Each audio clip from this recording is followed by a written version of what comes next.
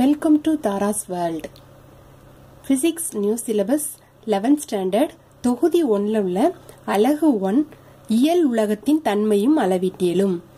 இதில் வந்து ஒன் மொத்தம் வந்து இந்த பாடத்தை வந்து எட்டு பிரிவுகளாக பிரித்து வந்து எக்ஸ்பிளைன் பண்ணியிருப்பாங்க இதில் வந்து ஃபஸ்ட்டு ஒன் பாயிண்ட் ஒன் பிரிவை வந்து நம்ம வந்து போன வீடியோவில் வந்து நம்ம பார்த்துருக்கோம். இப்போ பார்க்க போகிறது என்னன்னா ஒன் பாயிண்ட் டூ இயற்பியல் அறிமுகம். ஓகே வந்து ரெண்டு சப்டிவிஷன்ஸ் இருக்குது. ஒன் பாயிண்ட் டூ ஒன் இயற்பியலின் பிரிவுகள் ஒன் பாயிண்ட் டூ டூ இயற்பியல் கற்றலின் இனிமையும் வாய்ப்புகளும். ஓகே இப்போ பாடத்துக்கு போகலாமா ஓகே ஒன் பாயிண்ட் டூ இயற்பியல் அறிமுகம். இதுல வந்து எதெல்லாம் பத்தி விளக்கமா கொடுத்துருப்பாங்கன்னா இயற்பியல்ங்கிற பேரை வந்து அறிமுகப்படுத்தினது யாரு? இயற்பியல்ங்கிற சொல் வந்து எந்த மொழியிலிருந்து வந்துச்சுது? அதுக்கப்புறம் இந்த இயற்பியல் பயில்வதில் ப- பயில்வதில் பார்க்கக்கூடிய இரு அணுகுமுறைகள் என்ன? அப்படின்னு சொல்லிட்டு இதை இதை பற்றி விளக்கமாக வந்து இந்த பெரிய இந்த பார்ட்டில் வந்து நம்ம பார்க்கலாம். ஓகே ஒன் பாயிண்ட் டூ இயற்பியல் அறிமுகம். ஓகே இதில் வந்து ஃபஸ்ட்டு ஃபஸ்ட்டு இந்த இயற்பியல்ங்கிற பெயரை வந்து அறிமுகப்படுத்தினது யாருன்னா அரிஸ்டாட்டில். ஓகே இயற்பியல்ங்கிற பேரை அறிமுகப்படுத்தின அறிமுகப்படுத்தினது யாரு? அரிஸ்டாட்டில். எப்போ அறிமுகப்படுத்தினாங்கன்னா போ ஆமு முன்னூத்தி ஐம்பதுல வந்து அறிமுகப்படுத்தினாங்க. எப்போ அறிமுகப்படுத்தினாங்க? போ ஆமு முன்னூத்தி ஐம்பதுல வந்து அறிமுகப்படுத்தினாங்க. போ ஆமுன்னா என்னது? இதனோட விரிவாக்கம் என்ன? பொது ஆண்டுக்கு முன். ஓகே பொ- பொது ஆண்டுக்கு முன். அதாவது காலத்தை வந்து பொது ஆண்டுக்கு முன் பொது ஆண்டுக்கு பின்னு பிரிச்சிருந்தாங்க. இதை வந்து நீங்க வந்து சோசியல்ல வந்து கிமு கிபின்னு படிச்சிருப்பீங்க. அப்படிதானே? கிமுன்னா கிறிஸ்து பிறந்ததற்கு முன் கிறிஸ்து பிறந்ததற்கு பின் சொல்லிட்டு படிச்சிருப்பீங்க. அதை தான் இங்க வந்து போ ஆமு போ ஆப்பின்னு கொடுத்துருக்காங்க. பொது ஆண்டுக்கு முன் பொது ஆண்டுக்கு பின் கொடுத்துருக்காங்க. ஓகே? இதை வந்து இங்கிலீஷ்ல எப்படி சொல்லி எப்படி எப்படி சொல்லணும்னா பிசிஇ சிஇ அப்படின்னு சொல்லிட்டு சொல்லணும். அதாவது B before common era common era அப்படின்னு சொல்லிட்டு இங்கிலீஷ்ல வந்து சொல்லுவோம் இதை. ஓகே? பிஃபோர் காமன் எரா இதில் வந்து எரான்னா என்னன்னா பீரியட் ஓகே எரா மீன்ஸ் என்னது பீரியட் பீரியட் என்னது? காலம். காலத்தை குறிக்க குறிக்கிறதுனால எராங்கிற வேர்டை வந்து இதில் வந்து கொடுத்துருக்காங்க. ஓகே ஸோ அப்போ எப்போ வந்து நான் அரிஸ்டாட் எப்போ வந்து இயற்பியல்ங்கிற பேரை வந்து அரிஸ்டாட்டில் வந்து அறிமுகப்படுத்தினாங்க?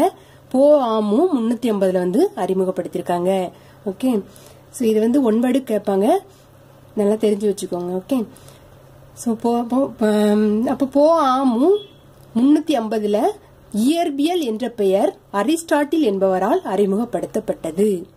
ஓகே ஓகே நெக்ஸ்ட் வந்து பிசிக்ஸ்ங்கிற வேர்டை வந்து எந்த மொழியிலிருந்து வந்துச்சுன்னா கிரேக்க மொழியிலிருந்து வந்துச்சு. ஓகே பிசிக்ஸ்ங்கிற மொழி பிசிக்ஸ்ங்கிற வேர்டு எந்த மொழியிலிருந்து வந்துச்சு? கிரேக்க மொழியிலிருந்து வந்துச்சு. கிரேக்க மொழியில் உள்ள ஃபியூசிஸ்ங்கிற செல்லிருந்து வந் சொல்லிலிருந்து வந்தது தான் இந்த பிசிக்ஸ்ங்கிற வேர்டு ஓகே இதனுடைய பொருள் என்னன்னா இயற்கை.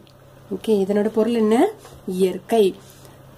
ஸோ அப்போ பிசிக்ஸ்ங்கிற வேர்டு வந்து பிசிக்ஸ் இயற்பியல்ங்கிற வார்த்தை வந்து எந்த மொழியிலேருந்து வந்துச்சுன்னா கிரேக்க மொழியில் உள்ள பியூசியஸ்ங்கிற சொல்லிருந்து வந்துச்சு. இதனோட பொருள் என்னன்னா இயற்கை. ஓகே இயற்பியல்னாலே என்னதான்? இயற்கை. ஓகே ஓகே இதே மாதிரி தான் நம்ம போன கிளாஸில் வந்து சயின்ஸ் சயின்ஸுங்கிற வார்த்தை வந்து எந்த சொல்லேருந்து வந்துச்சுன்னு பார்த்தோம்? எந்த மொழியிலேருந்து வந்துச்சுன்னு பார்த்தோம்? லத்தீன் மொழியிலேருந்து வந்துச்சு. ஓகே லத்தீன் மொழியில் உள்ள சயின்ஸியாங்கிற சொல்லேருந்து வந்துச்சு. அதனோட சயின்ஸுங்கிற பொருள் என்ன அறிவியல்ங்கிற சயின்ஸ் அறிவியல்ங்கிற லத்தின் மொழியில் லத்தீன் உள்ள சொல்லோட பொருள் என்னன்னு பார்த்தோம்?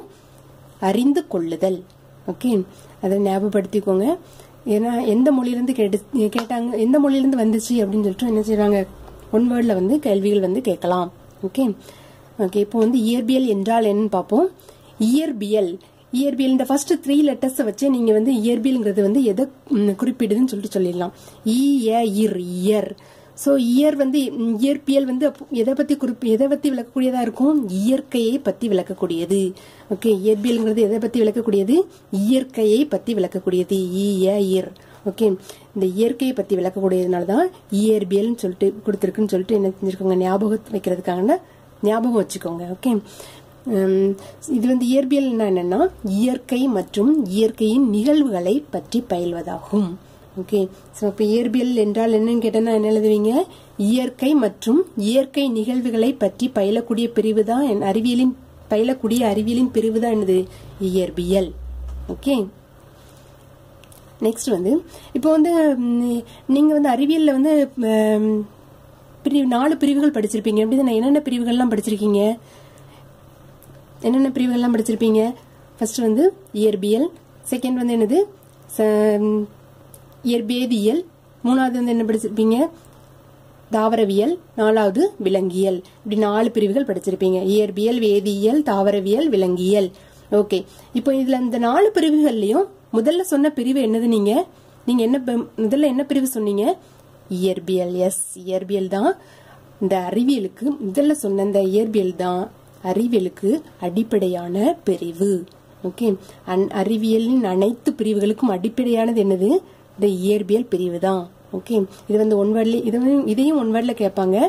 கவனிச்சுக்கோங்க. அறிவியலின் அனைத்து பிரிவுகளுக்கும் அடிப்படையானது டேஷ் அப்படின்னு கேட்டோம்னா என்ன எழுதணும்? இயற்பியல் எழுதணும். ஓகே ஓகே நெக்ஸ்ட் வந்து நம்ம பார்க்க போறது என்னன்னா இயற்பியல் பயில்வதில் உள்ள இரு அணுகுமுறைகள். ஓகே இயற்பியல் பயில்வதில் வந்து ரெண்டு அணுகுமுறைகள் இருக்கு. என்னலான்னா ஃபர்ஸ்ட் வந்து ஒன்றிணைத்து பார்த்தல் யூனிஃபிகேஷன் செகண்ட் வந்து என்னன்னா பகுத்து பார்த்தல் ரிடக்ஷனிசம் ஓகே பகு- ஒன்றிணைத்து பார்த்தல் பகுத்து பார்த்தல் இப்படி ரெண்டு அணுகுமுறைகள் இருக்கு. இதனோட விளக்கத்தை வந்து நம்ம நெக்ஸ்ட் பார்க்கலாம். ஓகே ஓகே ஃபர்ஸ்ட் வந்து ஒன்றிணைத்து பார்த்தல் யூனிஃபிகேஷன் ஒன்றிணைத்து பார்த்தல்னா என்னன்னா இப்போ வந்து இயற்பியல்ல வந்து வேறுபட்ட நிகழ்வுகள் நிறைய நிகழ்வுகள் நடக்கும். அந்த எல்லா நிகழ்வுகளையும் ஒரு ஒரு விதியை வச்சு நம்ம எக்ஸ்பிளைன் பண்றதா என்னன்னா இந்த ஒன்றிணைத்து பார்த்தல். அந்த ஒரு விதி மூலமா அந்த இயற்பியல் நிகழ்வுகள் நடக்கக்கூடிய காரணத்தை வந்து நம்ம விளக்குறோம்ல அந்த வில அப்படிப்பட்ட விள அப்படிப்பட்ட அணுகுமுறை தான் என்னன்னா ஒன்றிணைத்து பார்த்தல். ஓகே? வேறுபட்ட இயற்பியல் அணுகுமுறை நிறைய இயற்பியல் நிகழ்வுகள் நடக்குது. இந்த எல்லா நியர் இயற்பியல் நிகழ்வுகளுக்கும் ஒரே ஒரு காரணம் அதாவது பொதுவான காரணத்தை வந்து ஒரு விதி அல்லது ஒரு தத்துவம் மூலமாக விளக்கக்கூடிய விளக்கக்கூடியதுதான் என்னன்னா இந்த ஒன்றிணைத்து பார்த்தல் அணுகுமுறை. ஓகே ஒன்றிணைத்து பார்த்தல் அணுகுமுறையாகும். ஓகே இப்போ லைன் பை லைனை பார்க்கலாம். வேறுபட்ட இயற்பியல் நிகழ்வுகளை ஒரு சில தத்துவங்கள் மற்றும் விதிகளை பயன்படுத்தி விளக்க முயற்சித்தல் தான் என்னது? ஒன்றிணைத்து பார்த்தல் ஆகும். ஓகே இதுக்கு வந்து பெஸ்ட் எக்ஸாம்பிள் கொடுத்துருக்காங்க. என்ன எக்ஸாம்பிள் பார்ப்போம்? அதாவது மூணு நிகழ்வுகள் கொடுத்துருக்காங்க. அந்த நிகழ்வுகளுக்கு காரணமான அந்த நிகழ்வுகளுக்கு காரணமான காரணங்களை வந்து விளக்கக்கூடிய விதை விதி ஒரே ஒரு விதியை வந்து கொடுத்துருக்காங்க. ஓகே என்னன்னு பார்க்கலாம். ஃபர்ஸ்ட் வந்து புவி வந்து இப்போ நம்ம வந்து எ- எந்த பொருளை மேலே தூக்கி எரிஞ்சாலும் எல்லா பொருளுமே எங்க எங்க தான் வந்து விழும்? புவி பூமியை நோக்கி வந்து விழும். அப்படிதானே அதற்கு வந்து காரணம் என்ன? ஓகே அது ஒரு சைடு வச்சுக்கோங்க. அதுக்கு வந்து என்ன காரணம்னு சொல்லிட்டு தனியாக வச்சுக்கோங்க. அதுக்கப்புறம் சூரியனை சூரியனை சுற்றி தான் எல்லா கோள்களும் வருது. ஓகே எல்லா கோள்களுமே சூரியனை சுற்றி தான் வருது. எதற்காக என்ன ஒரு காரணத்தினால வந்து எல்லா கோள்களும் வந்து சூரியனை சுற்றி வருது? ஓகே இது வந்து செகண்ட் ஒன் அதையும் ஒரு இதாக வச்சுக்கோங்க. நெக்ஸ்ட் ஒன் தேர்ட் ஒன் பூமியை சுற்றி சந்திரன் வந்து பூமியை அதாவது பூமியை சுற்றி வந்து சந்திரன் வருது. பூமியை வந்து சந்திரன் வந்து சுற்றி வருது. இதனோட இயக்கமும் இயக்கத்திற்கும் காரணம் என்ன? ஓகே ஃபர்ஸ்ட் வந்து என்னது? பூமியை மேலே மேல எந்த பொருளை நம்ம மேலே போட்டாலும் எல்லா பொருளுமே பூமியை நோக்கி தான் கீழே பூமியை நோக்கி தான் விழுது. இதற்கு காரணம் என்ன? அடுத்து வந்து எல்லா கோள்களுமே சூரியனை சுற்றி வருது. அதற்கு காரணம் என்ன? அடுத்து வந்து என்ன? நெக்ஸ்ட் தேர்ட் ஒன்று என்னன்னா பூமியை வந்து சூரியன் சந்திரன் வந்து சுற்றி வருது. அது இதுக்கு காரணம் என்ன? இந்த மூணுக்குமே காரணங்கள் என்னன்னா ஈர்ப்பியல் விசை அப்படின்னு சொல்லிட்டு நியூட்டன் ஈர்ப்பியல் விதியில வந்து இந்த மூணு நிகழ்வுகள் மூணு இயற்கை நிகழ்வுகளுக்குமே உள்ள காரணத்தை வந்து காரணங்கள் வந்து இயற்பியல் விசை தான் அப்படின்னு சொல்லிட்டு நியூட்டனோட ஈர்ப்பியல் விதிங்கிற ஒரு விதியால வந்து இந்த மூணு நிகழ்வுகளுக்கும் வந்து விளக்கத்தை வந்து கொடுத்தாங்க. கொடுத்தாங்க. இதுதான் என்ன அணுகுமுறைனா ஒன்றிணைத்து பார்த்தல்.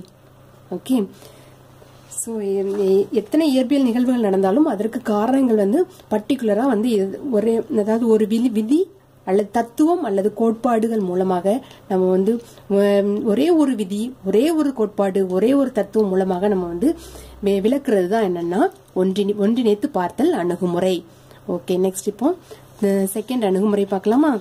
செகண்ட் அணுகுமுறை என்னன்னா பகுத்து பார்த்தல் ரிடக்ஷனிசம் ஓகே பகுத்து பார்த்தல் ரிடக்ஷனிசம் ஓகே இதுல வந்து என்னன்னா பகுத்து பார்த்தல் என்னன்னா ஒரு பெரிய அமைப்பை அல்லது ஒரு பெரிய பொருளை அது உள்ளுக்க அடங்கி உள்ள சிறிய பொருட்கள் மூலமாக அந்த பொருளை பத்தி விள பெரிய பொருளை பத்தி விளக்கக்கூடியதா என்னன்னா பகுத்து பார்த்தல் கேன் யூ அண்டர்ஸ்டாண்ட் எப்படின்னா ஒரு பெரிய பொருளை அந்த பெரிய பொருளுக்கு அடங்கி உள்ள பெரிய பொருள் உள்ளுக்கு அடங்கி உள்ள சிறிய பொருள்கள் மூலமாக விளக்குவதுதான் என்னன்னா இந்த பகுத்து பார்த்தல் அணுகுமுறை. ஓகே இதில் சின்ன டயக்ராம் டயக்ராம் டயக்ராமா கொடுத்துருக்கு பாருங்க கொடுத்துருக்கேன் பாருங்கள் அதாவது இது வந்து ஒரு பெரிய பொருள். இந்த பெரிய பொருளில் அடங்கி உள்ள சிறிய பொருள் தான் இந்த பொருள். இந்த சிறிய பொருள் மூலமாக இந்த பெரிய பொருளை வந்து விளக்குவது தான் என்னன்னா இந்த பகுத்து பார்த்தல் அணுகுமுறை. ஓகே ஃபார் எக்ஸாம்பிள் இப்போ எல்லா பொருட்களுமே எந்த எதனால் ஆனது? அணுக்களால் ஆனது. அப்படிதானே? எல்லா பொருட்களுமே எதனால் ஆனது? அணுக்களால் ஆனது. அப்போ ஒரு பொருளை பத்தி நம்ம விளக்கணும்னா என்ன செய்- எதன் மூலமாக விளக்க ஒரு பொருளை பத்தி நம்ம விளக்கணும்னா அந்த அணுக்களை பத்தி தெரிஞ்சுக்கிட்டோம்னா அந்த அணுக்கள் மூலமாக அந்த பொருளை பத்தி விளக்குறது தான் என்னன்னா அந்த பொருளை பத்தி விளக்குறது என்னன்னா பகுத்து பார்த்தல் அணுகுமுறை. இப்போ ஃபார் எக்ஸாம்பிள் ஒரு திடப்பொருள் எடுத்துக்கிடுவோம். இந்த பென்சில் எடுத்துக்கிடுவோம். பென்சில் வந்து ஒரு திடப்பொருள். இந்த திடப்பொருள் வந்து எப்படி எப்படி அதாவது இந்த திடப்பொருளை பற்றி எக்ஸ்பிளைன் பண்ணுறதுக்கு இதில் உள்ள அணுக்களை பற்றி வந்து அணுக்கள் இதனுடைய அணுக்கள் மூலமாக வந்து நம்ம வந்து இதை திடப்பொருள்னு சொல்கிறோம் அப்படிதானே இதனோட அணுக்கள் வந்து அணுக்களின் மூலமாக இது ஒரு திடப்பொருள் அப்படின்னு நம்ம வந்து எக்ஸ்பிளைன் பண்ணக்கூடியதான் என்னது? பகுத்து பார்த்தல் அணுகுமுறை. ஓகே அணுக்கள் மூலமாக எப்படி சொல்றோம்? இதனோட திடப்பொருளா இருந்தா அணுக்கள் வந்து எப்படி இருக்கும்? நெருக்கமா இரு- நெருக்கமா இருக்கும். அந்த திடப்பொருள் திடப்பொருள்களை வந்து நம்ம வந்து அமுத்த முடியாது. ஓகே கைகளால் அமுத்த முடியாது. அப்படின்னு சொல்லிட்டு அந்த அணுக்கள் மூலமாக அந்த பொருள் ப- பெரிய பொருள் வந்து எப்ப- எப்படிப்பட்டது? அப்படின்னு சொல்லிட்டு நம்ம எக்ஸ்பிளைன் பண்றதா என்னது? இந்த பகுத்து பார்த்து அணுகுமுறை. ஓகே லைன் பை லைனாக பார்க்கலாம். ஒரு பெரிய அமைப்பினை அல்லது பொருளை அதனுள் அடங்கிய நுண்ணிய துகள்களின் மூலம் விளக்க முயற்சிப்பதே பகுத்து பார்த்தல் ஆகும் ஓகே இதுக்கு ஒரு எக்ஸாம்பிள் கொடுத்துருக்காங்க புக்கில் என்ன எக்ஸாம்பிள் பார்க்கலாம். இப்போ வந்து ஒரு பெரிய அமைப்பு அல்லது பொருள் பொருளை கன்சிடர் பண்ணிக்கோங்க. அதனோட பண்புகள் எடுத்திருக்காங்க. ரெண்டு பண்புகள் எடுத்திருக்காங்க. வெப்பநிலை என்ட்ரோபி என்ட்ரோபினாலும் வெப்பநிலை சம்பந்தமான பண்புகள் தான். அது என்னன்னா வெப்ப மாற்றிடற்ற நிகழ்வு. ஓகே என்ட்ரோப்பியும் என்ட்ரோப்பினா என்னது? வெப்ப மாற்றிடற்ற நிகழ்வு. இந்த ரெண்டு பண்புகள் எடுத்திருக்காங்க. அந்த பொருளோட ரெண்டு பண்புகள் எடுத்திருக்காங்க. இந்த ரெண்டு பண்புகளையும் விளக்கக்கூடிய பிரிவு தான் என்னன்னா வெப்ப இயக்கவியல் பிரிவு தெர்மோ டைனமிக்ஸ் ஓகே தெர்மோ டைனமிக்ஸ்னாலே அது வெப்ப வெப்பம் சம்பந்தமான பொருட்களுடைய வெப்ப சம்பந்தமான பண்புகளை வந்து விளக்கக்கூடியது. ஓகே. ஸோ அந்த பெரிய பொருளோட பண்புகள் என்ன? வெப்பநிலை என்ட்ரோப்பி எடுத்திருக்காங்க. இதை விளக்கக்கூடியது என்னது? வெப்ப இயக்கவியல். ஓகே. இப்போ வந்து இந்த பண் பெரிய பொருளோட பண்புகளை வந்து விளக்குவது எப்படி எதன் மூலமாக விளக்க முடியும்னா இந்த பெரிய அமைப்போ அமைப்பு அல்லது இந்த பெரிய பொருளோட மூலக்கூறுகள் வழியாக இந்த பெரிய இந்த- இந்த பண்புகளை வந்து அதாவது இந்த பெரிய பொருளோட பெரிய அமைப்போட பண்புகள் பண்புகளான வெப்பநிலை என்ட்ரோப்பியை வந்து இந்த பெரிய அமைப்பில் உள்ள நுண்துகள்களான மூலக்கூறுகள் வழியாக வந்து விளக்குறோம். ஓகே இந்த அணுகுமுறை என்ன அணுகுமுறை? பகுத்து பார்த்தல் அணுகுமுறை. இதில் அடங்கிய சிறிய துகள்கள் மூலமாக இந்த பெரிய பொருளோட பண்புகளை வந்து நம்ம இதில் வந்து விளக்கியிருக்கோம். இதை வந்து எக்ஸாம்பிளாக வந்து இதில் கொடுத்துருக்காங்க. ஓகே இந்த இதை இதை பத்தின விளக்கக்கூடிய இது எதன் மூலம் அதாவது இந்த நுண்துகள் மூலமாக அந்த பண்புகளை விளக்குறாங்கல்ல அந்த விளக்கக்கூடிய அம்- விளக்கக்கூடிய பிரிவு பேர் பிரிவுகள் என்னன்னா மூலக்கூறுகளின் இயக்கவியற் கொள்கை புள்ளியியல் எந்திரவியல் புள்ளியியல் எந்திரவியல். ஓகே புள்ளியியல் எந்திரவியல் மூலக்கூறுகளின் இயக்க இயக்கவியற் கொள்கை. இந்த ரெண்டு பிரிவுகள் மூலமாக தான் இந்த பெரிய பெரிய அமைப்பில் அடங்கியுள்ள நுண்துகள் மூலக்கூறுகள் மூலமாக பண்புகள் ப- இதனுடைய பெரிய பொருளோட பண்புகளை வந்து விளக்கியிருக்காங்க. Okay can you can clear this one okay இப்போ வந்து லைன் பை லைனை பார்க்கலாம். எடுத்துக்காட்டு பெரிய அமைப்பின் பண்புகளான வெப்பநிலை என்ட்ரோபி போன்றவற்றை விளக்க வெப்ப இயக்கவியல் உருவாக்கப்பட்டது. ஓகே பெரிய அமைப்பின் பண்புகளை பண்புகளான வெப்பநிலை என்ட்ரோபி போன்றவற்றை விளக்குவதற்கு வந்து என்னது? வெப்ப இயக்கவியல் உருவாக்கப்பட்டது. செகண்ட் ஒன் பார்க்கலாம். மூலக்கு மூலக்கூறு இயக்கவியல் கொள்கை மற்றும் புள்ளியல் எந்திரவியல் ஆகியவை மேற்கூறிய பெரிய அமைப்பின் பண்புகளான அதாவது பண்புகளை இந்த பண்புகளான இந்த வெப்பநிலை என்ட்ரோபி ஓகே அதான் பண்புகளை அந்த பெரிய அமைப்பின் நுண்துகள்களான மூலக்கூறுகள் வழியே விளக்குகிறது. Okay can you clear this one இதுதான் ரெண்டு அணுகுமுறைகள். என்னென்ன அணுகுமுறைகள்லாம் இருக்கு? இயற்பியல் பயில்வதில் உள்ள அணுகுமுறைகள் ஒன்றிணைத்து பார்த்தல் பகுத்து பார்த்தல். ஓகே. அடுத்து வந்து என்ன பார்க்க போகிறோம்னா இதில் வந்து குறிப்புன்னு கொடுத்துருக்காங்க. இப்போ வந்து நம்ம இதில் மேக்ரோஸ்கோபிக் பகுத்து பார்த்தல மேக்ரோஸ்கோபி சிஸ்டம் மைக்ரோஸ்கோபி ஓகே அடுத்து வந்து குறிப்புன்னு சொல்லிட்டு கொடுத்துருக்காங்க. இதில் வந்து இயற்பியலில் வந்து ஒரு பெரிய அமைப்புனா என்ன? மீன் உண்ணை மின்னுண் அமைப்புனா என்ன? அப்படின்னு சொல்லிட்டு கொடுத்துருக்காங்க. ஓகே அதாவது இதில் வந்து பகுத்து பார்த்தல் அணுகுமுறையில் பார்த்தோம்ல மேக்ரோஸ்கோபிக் சிஸ்டம் மைக்ரோஸ்கோபிக் சிஸ்டம் பார்த்தோம்ல அதுனா என்னன்னு சொல்லிட்டு சில சிறிய விளக்கத்தில் வந்து கொடுத்துருக்காங்க. ஓகே இப்போ வந்து மேக்ரோஸ்கோபிக் சிஸ்டம்னா என்னன்னு பார்ப்போம். அதாவது பெரிய அமைப்பு அப்படின்னா இயற்பியலில் வந்து என்ன எக்ஸ்பிளைன் பண்ணுறாங்கன்னு பார்ப்போம். பெரிய அமைப்புனாலே என்னது? நம்ம கண்ணால் பார்க்கக்கூடியது தான் பெரிய அமைப்புன்னு சொல்லுவோம். அப்படி தானே நம்ம கண்ணால் பார்க்கக்கூடிய சின்ன கல்லுல இருந்து எரேசர்ல இருந்து பென்சில்ல இருந்து புக்ல இருந்து அடுத்து வந்து என்னது? பெரிய டிவியில இருந்து இருந்து ஓடக்கூடிய பஸ் கார் ஓகே பெரிய பெரிய இயந்திரங்கள் தொழிற்சாலைகள் பெரிய பில்டிங் அதுக்கப்புறம் அதுல இருந்து பெரிய பொருட்களான இந்த வானி வானத்தில் காணக்கூடிய நிலா ஓகே வானியல் பொருட்கள் நட்சத்திரங்கள் எல்லாமே சூரிய நம்ம கண்ணுக்கு எட்டக்கூடிய தெளி- எட்டக்கூடிய தெளிவில் காணக்கூடிய எல்லா வித பொருட்களையுமே என்ன சொல்றோம்னா இந்த பெரிய அமைப்புன்னு சொல்றோம். ஓகே அதாவது நம் கண்ணால் காணக்கூடிய கல்லிலிருந்து வானில் இருக்கும் விண்மீன்கள் வரை அனைத்தையுமே என்ன- அனைத்தையுமே குறிக்கக்கூடியதா என்னன்னா இந்த பெரிய அமைப்பு அதாவது மேக்ரோஸ்கோபிக் சிஸ்டம்னு சொல்றோம். ஓகே அடுத்து வந்து மின் மீன் உண்ணமைப்புனா என்னன்னு பார்ப்போம். மைக்ரோஸ்கோபிக் சிஸ்டம் நம் கண்ணில் புலப்பட புலப்படாத சிறிய அளவிலான பொருட்களை தான் என்னன்னு சொல்றோம்னா மூலக்கூறுகள்னு சொல்லுவோம். ஓகே எல்லா பொருட்களும் வந்து அணுக்களால் ஆனது அந்த அணுக்களை வந்து நம்ம பார்க்க முடியுமா கண்ணால? இப்போ ஒரு ஆப்ஜெக்ட் இருக்குன்னா இப்போ ஒரு ஆப்ஜெக்ட் இருக்குன்னா அந்த ஆப்ஜெக்ட் வந்து ஆப்ஜெக்டுக்குள்ள உள்ள அணுக்களை வந்து நம்ம பார்க்க முடியுமா? இது வந்து இது வந்து அணுக்களால் ஆனதுன்னு சொல்றோம். இந்த பொருட்கள் உள்ள அணுக்களை வந்து நம்ம கண்ணால பார்க்க முடியுதா? இது வந்து பென்சில்னு சொல்றோம். அந்த பென்சில் வந்து அணுக்களால் ஆனது அப்படின்னு சொல்லிட்டு சொல்றோம். ஆனா அந்த இதை வந்து நம்ம அணுக்கு அந்த இதை வந்து நம்ம அந்த அணில் உள்ள அணுக்களை வந்து கண்களால் காண முடியுதா? காண முடியாது. அப்படி காணா கண்களால் காண முடியாத அமைப்பை தான் என்னன்னு சொல்றோம்னா மீன் நுண்ணமைப்புன்னு சொல்றோம். ஓகே நாட் ஓன்லி பென்சில் எல்லா வித ஆப்ஜெக்ட்லயும் வந்து அணுக்கள் எல்லா வித பொருட்களுமே அணுக்களால் ஆனது தான் ஓகே அந் அணுக்கள் எல்லாம் சேர்ந்ததுதான் என்னது மூலக்கூறுகள். அந்த மூலக்கூறுகளையும் நம் கண்ணால் பார்க்க முடியாது. அணுக்களையும் கண்ணால் பார்க்க முடியாது. அணுக்களில் உள்ள துகள்களான புரோட்டான் எலக்ட்ரான் நியூட்ரான் இப்படி அந்த அடிப்படை துகள்களையும் வந்து நம்ம கண்ணால பார்க்க முடியாது. இப்படி கண்ணுக்கு புலப்படாத சிறிய அளவிலான பொருள் மூலக்கூறுகளை குறிக்க மூலக்கூறுகள் அணுக்கள் அணு அணு அடி அணு அடிப்படை துகள்களை வந்து குறிக்கக்கூடியதுதான் மீ நுண்ணமைப்பு. ஓகே. இதில் வந்து சிறிய அதாவது மைக்ரோஸ்கோபி சிஸ்டம்ஸ் வந்து எல்லாம் சேர்ந்து ஃபார்ம் பண்ணக்கூடியதுதான் மேக்ரோஸ்கோபி சிஸ்டம் அதாவது சிறிய அளவிலான மூலக்கூறுகள் ஒருங்கிணை இணையும் போதுதான் பெரிய அளவிலான பொருட்கள் வந்து நமக்கு வந்து கிடைக்குது. ஓகே இதுல வந்து இப்போ ஒரு பொருளே நம்ம அணுக்களா ஆயிருக்கு ஆயிருக்கு அணுக்களால் ஆயிருக்குன்னு சொல்லியிருக்கோம்னா அந்த அணுக்கள் வந்து நிறைய சேரும் போதுதான் என்ன செய்யுது? ஒரு பெரிய வித பெரிய வந்து பொருட்களாக கிடைக்குது. ஓகே அணுக்கள் வந்து அதாவது இந்த பென்சில்ல வந்து அணுக்கள் இருக்குன்னு சொல்லியிருக்கோம்ல இதுல வந்து நிறைய அணுக்கள் வந்து ஜாயின் ஆகும் போதுதான் நமக்கு வந்து இந்த பென்சில்ங்கிறது வந்து கிடைக்குது. ஓகே ஓகே நெக்ஸ்ட் வந்து பார்க்க நெக்ஸ்ட் டாபிக் பார்க்கலாம். அதாவது சப்டிவிஷன்ஸ் ரெண்டு கொடுத்துருந்தாங்கல்ல இதில் ஃபர்ஸ்ட் சப்டிவிஷனை பார்க்கலாம். ஃபர்ஸ்ட் வந்து சப்டிவிஷன் என்னன்னா ஒன் பாயிண்ட் டூ ஒன் இயற்பியலின் பிரிவுகள். ஓகே இயற்பியலின் பிரிவுகள் இதில் வந்து எதை பற்றி எக்ஸ்பிளைன் பண்ணியிருப்பாங்கன்னா இயற்பியலில் வந்து என்னென்ன பிரிவுகள்லாம் இருக்குது? ஓகே இதை வந்து எப்- எப்படி பிரித்து வந்து இதில் வந்து என்னென்ன பிரிவுகள்லாம் இருக்குன்னு சொல்லிட்டு எக்ஸ்பிளைன் இருக்காங்கன்னு கொடுத்துருக்காங்க. ஓகே இதில் வந்து இப்போ என்னெல்லாம் பார்க்கலாம் இப்போ.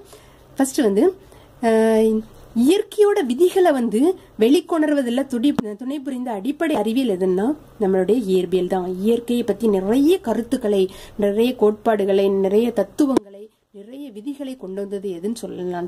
எது அப்படின்னு நம்ம சொன்னோம்னா இயற்பியல் தான். ஓகே அறிவியல்லே மெயினான இந்த இயற்கையை பாத் இயற்கையை பற்றிய விதி விளக்கத்தை வந்து கொடுத்தது வந்து இயற்பியல் தான். ஓகே அப்போ இதை வந்து ஒன்வேர்டு கேட்கலாம். இயற்கை விதிகளை வெளிக்கொணர்வதில் துணை புனி துணை புரிந்த அடிப்படை அறிவியல் டேஸ் ஆகும் அப்படின்னு கேட்டால் நான் எதை எழுதுவீங்க? இயற்பியல். ஓகே இந்த அடுத்து வந்து இந்த இயற்பியலோட மொழி என்னன்னா கணிதவியல். ஓகே இந்த இயற்பியல் இயற்பியலில் வந்து மெயின் பார்ட்டே வந்து கணிதவியல் தான். ஓகே இது வந்து நம்ம கணிதவியல் நம்ம கால்குலேஷன் பார்ட்ஸில் யூஸ் பண்ணுறோம் கால்குலேஷன் பார்ட் யூஸ் பண்ணுறோம் அதுக்கப்புறம் இந்த கணிதவியலோட ப்ரொசீஜர்ஸ் வந்து நிறைய வந்து இதில் வந்து ஃபாலோ பண்ணுறோம் ஓகே ப்ளஸ் மைனஸ் இந்த சிம்பிள்ஸும் சிம்பிள்ஸ் மூலமா இந்த கால்குலேஷன் பார்ட்ல வந்து நிறைய வந்து நம்ம நிறைய யூஸ் பண்ணி அதன் மூலமா வந்து நம்ம லாஸ் டெரிவ் பண்றோம். அந்த அதனுடைய நெ- அதன் மூலமா நிறைய வந்து கருத்துக்களை வந்து வெளிப்படுத்துறோம். அதனாலதான் இதனோட இயற்பியலோட மொழி வந்து என்னது? கணிதவியல். ஓகே இயற்பியலின் மொழி என்னன்னு கேட்டா என்ன சொல்லுவீங்க? கணிதவியல் சொல்லணும். ஓகே ஓகே அடுத்து வந்து பழங்காலத்துல வந்து பழங்கால மனிதர்கள் வந்து எப்படி வாழ்ந்தாங்கன்னு கொடுத்துருக்காங்க. பழங்கால மனிதர்கள் வந்து இயற்கையோடு இயற்கையாக தான் இணைந்து வாழ்ந்தாங்க. இயற்கையிலிருந்து கிடைத்த உணவுகளை தான் அதாவது பழங் கிடைக்கக்கூடிய பழங்கள் ஓகே பல கிடைக்கக்கூடிய பழங்கள் மரங்களில் மரங்களில் இருக்கக்கூடிய காய்கள் எல்லாவற்றையும் தான் பறித்து வந்து சாப்பிட்டுட்டு வந்து வா- சாப்பிட்டு வாழ்ந்து வந்தாங்க. இவங்களோட வாழ்க்கை முறை ஃபுல்லாகவே இயற்கையோடு தான் இணைந்திருந்தது. ஓகே இலைதலைகளை தான் உடுத்தி வாழ்ந்து வந்தாங்க. ஓகே அப்படி வான் பொருட்கள் விண்மீன்களோட இயக்கங்களை வச்சு தான் என்ன செஞ்சாங்கன்னா பருவ காலங்களை வந்து கணிச்சாங்க.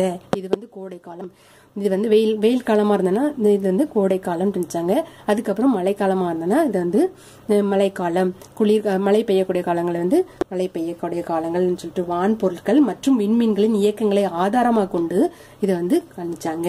ஓகே. அடுத்து வந்து அறுவடை செய்- விதைக்கும் காலத்தையும் அறுவடை செய்ய காலத்தையும் கூட இந்த வான்வெளியை நோக்குவதன் மூலமாக தான் அவங்க வந்து அனுமானித்து வந்தாங்க. ஸோ அப்போ வந்து நம்ம இயற்பியலில் வந்து இயற்பியல் வளர்ச்சி அடைய இயற்பியல் வளர்ச்சி அடையறதுக்கு உள்ள ஸோ அப்போ இதில் முதன் முதல்ல வந்து வளர்ச்சி அடைந்த பிரிவு வந்து என்ன? வளர்ச்சி அடைந்த அறிவியல் பிரிவு என்னன்னா வானியலும் கணிதவியலும் தான். ஓகே வான இயற்கையோடு இயற்கையை வாழ்ந்ததுனால முதன் முதல்ல வளர்ச்சி அடைந்த அறிவியல் பிரிவு என்னன்னு சொல்லலாம்? வானியலும் கணிதவியல்னு சொல்லிட்டு சொன்னாங்க. ஓகே ஸோ முதன் முதலில் வளர்ச்சி அடைந்த அறிவியல் பிரிவு டேஷ் ஆகும் கேட்டனா என்ன எழுதுவீங்க? வானியலும் கணிதவியலும். ஓகே ஓகே அடுத்து நம்ம பார்க்க போறது என்னன்னா இயற்பியலோட பிரிவுகள். இயற்பியல்ல வந்து ரெண்டு மெயின் பிரிவுகள் இருக்குது. என்னெல்லாம்னா மரபு இயற்பியல் நவீன இயற்பியல் ரெண்டு பிரிவுகளா பிரிச்சிருக்காங்க. ஓகே இயற்பியல் எத்தனை பிரிவுகளா பிரிச்சிருக்காங்க? மரபு இயற்பியல் ந- நவீன இயற்பியல் ரெண்டு பிரிவுகளா பிரிச்சிருக்காங்க. இதுல மரபு இயற்பியல்னா எதன எந்த காலத்துக்குள்ள அடங்கின பிரிவை வந்து சொல்லியிருக்காங்கன்னு பார்ப்போம் எந்த காலத்தில் அடங்கின பிரிவு சொல்லியிருக்காங்கன்னா இருபதாம் நூற்றாண்டின் தொடக்கத்திற்கு முன் வளர்ச்சியடைந்த மற்றும் ஏற்றுக்கொள்ளப்பட்ட அடிப்படை இயற்பியல் பற்றியது தான் என்னன்னா மரபு இயற்பியல். ஓகே இருபதாம் நூற்றாண்டு காலம்னா என்னது? நூற்றாண்டை பத்தி நம்ம போன வீடியோல வந்து விளக்கமா பார்த்தோம். அப்படிதானே? நூற்றாண்டுகள்னா என்னன்னா நூற்றாண்டுகள் என்ன? இருபதாம் நூற்றாண்டுனா என்னது? எதுல இருந்து தொடங்கும் ஆயிரத்தி தொள்ளாயிரத்தி ஒன்னுல இருந்து ரெண்டாயிரம் வரைக்கும் உள்ளதுதான் என்னது? இருபதாம் நூற்றாண்டு.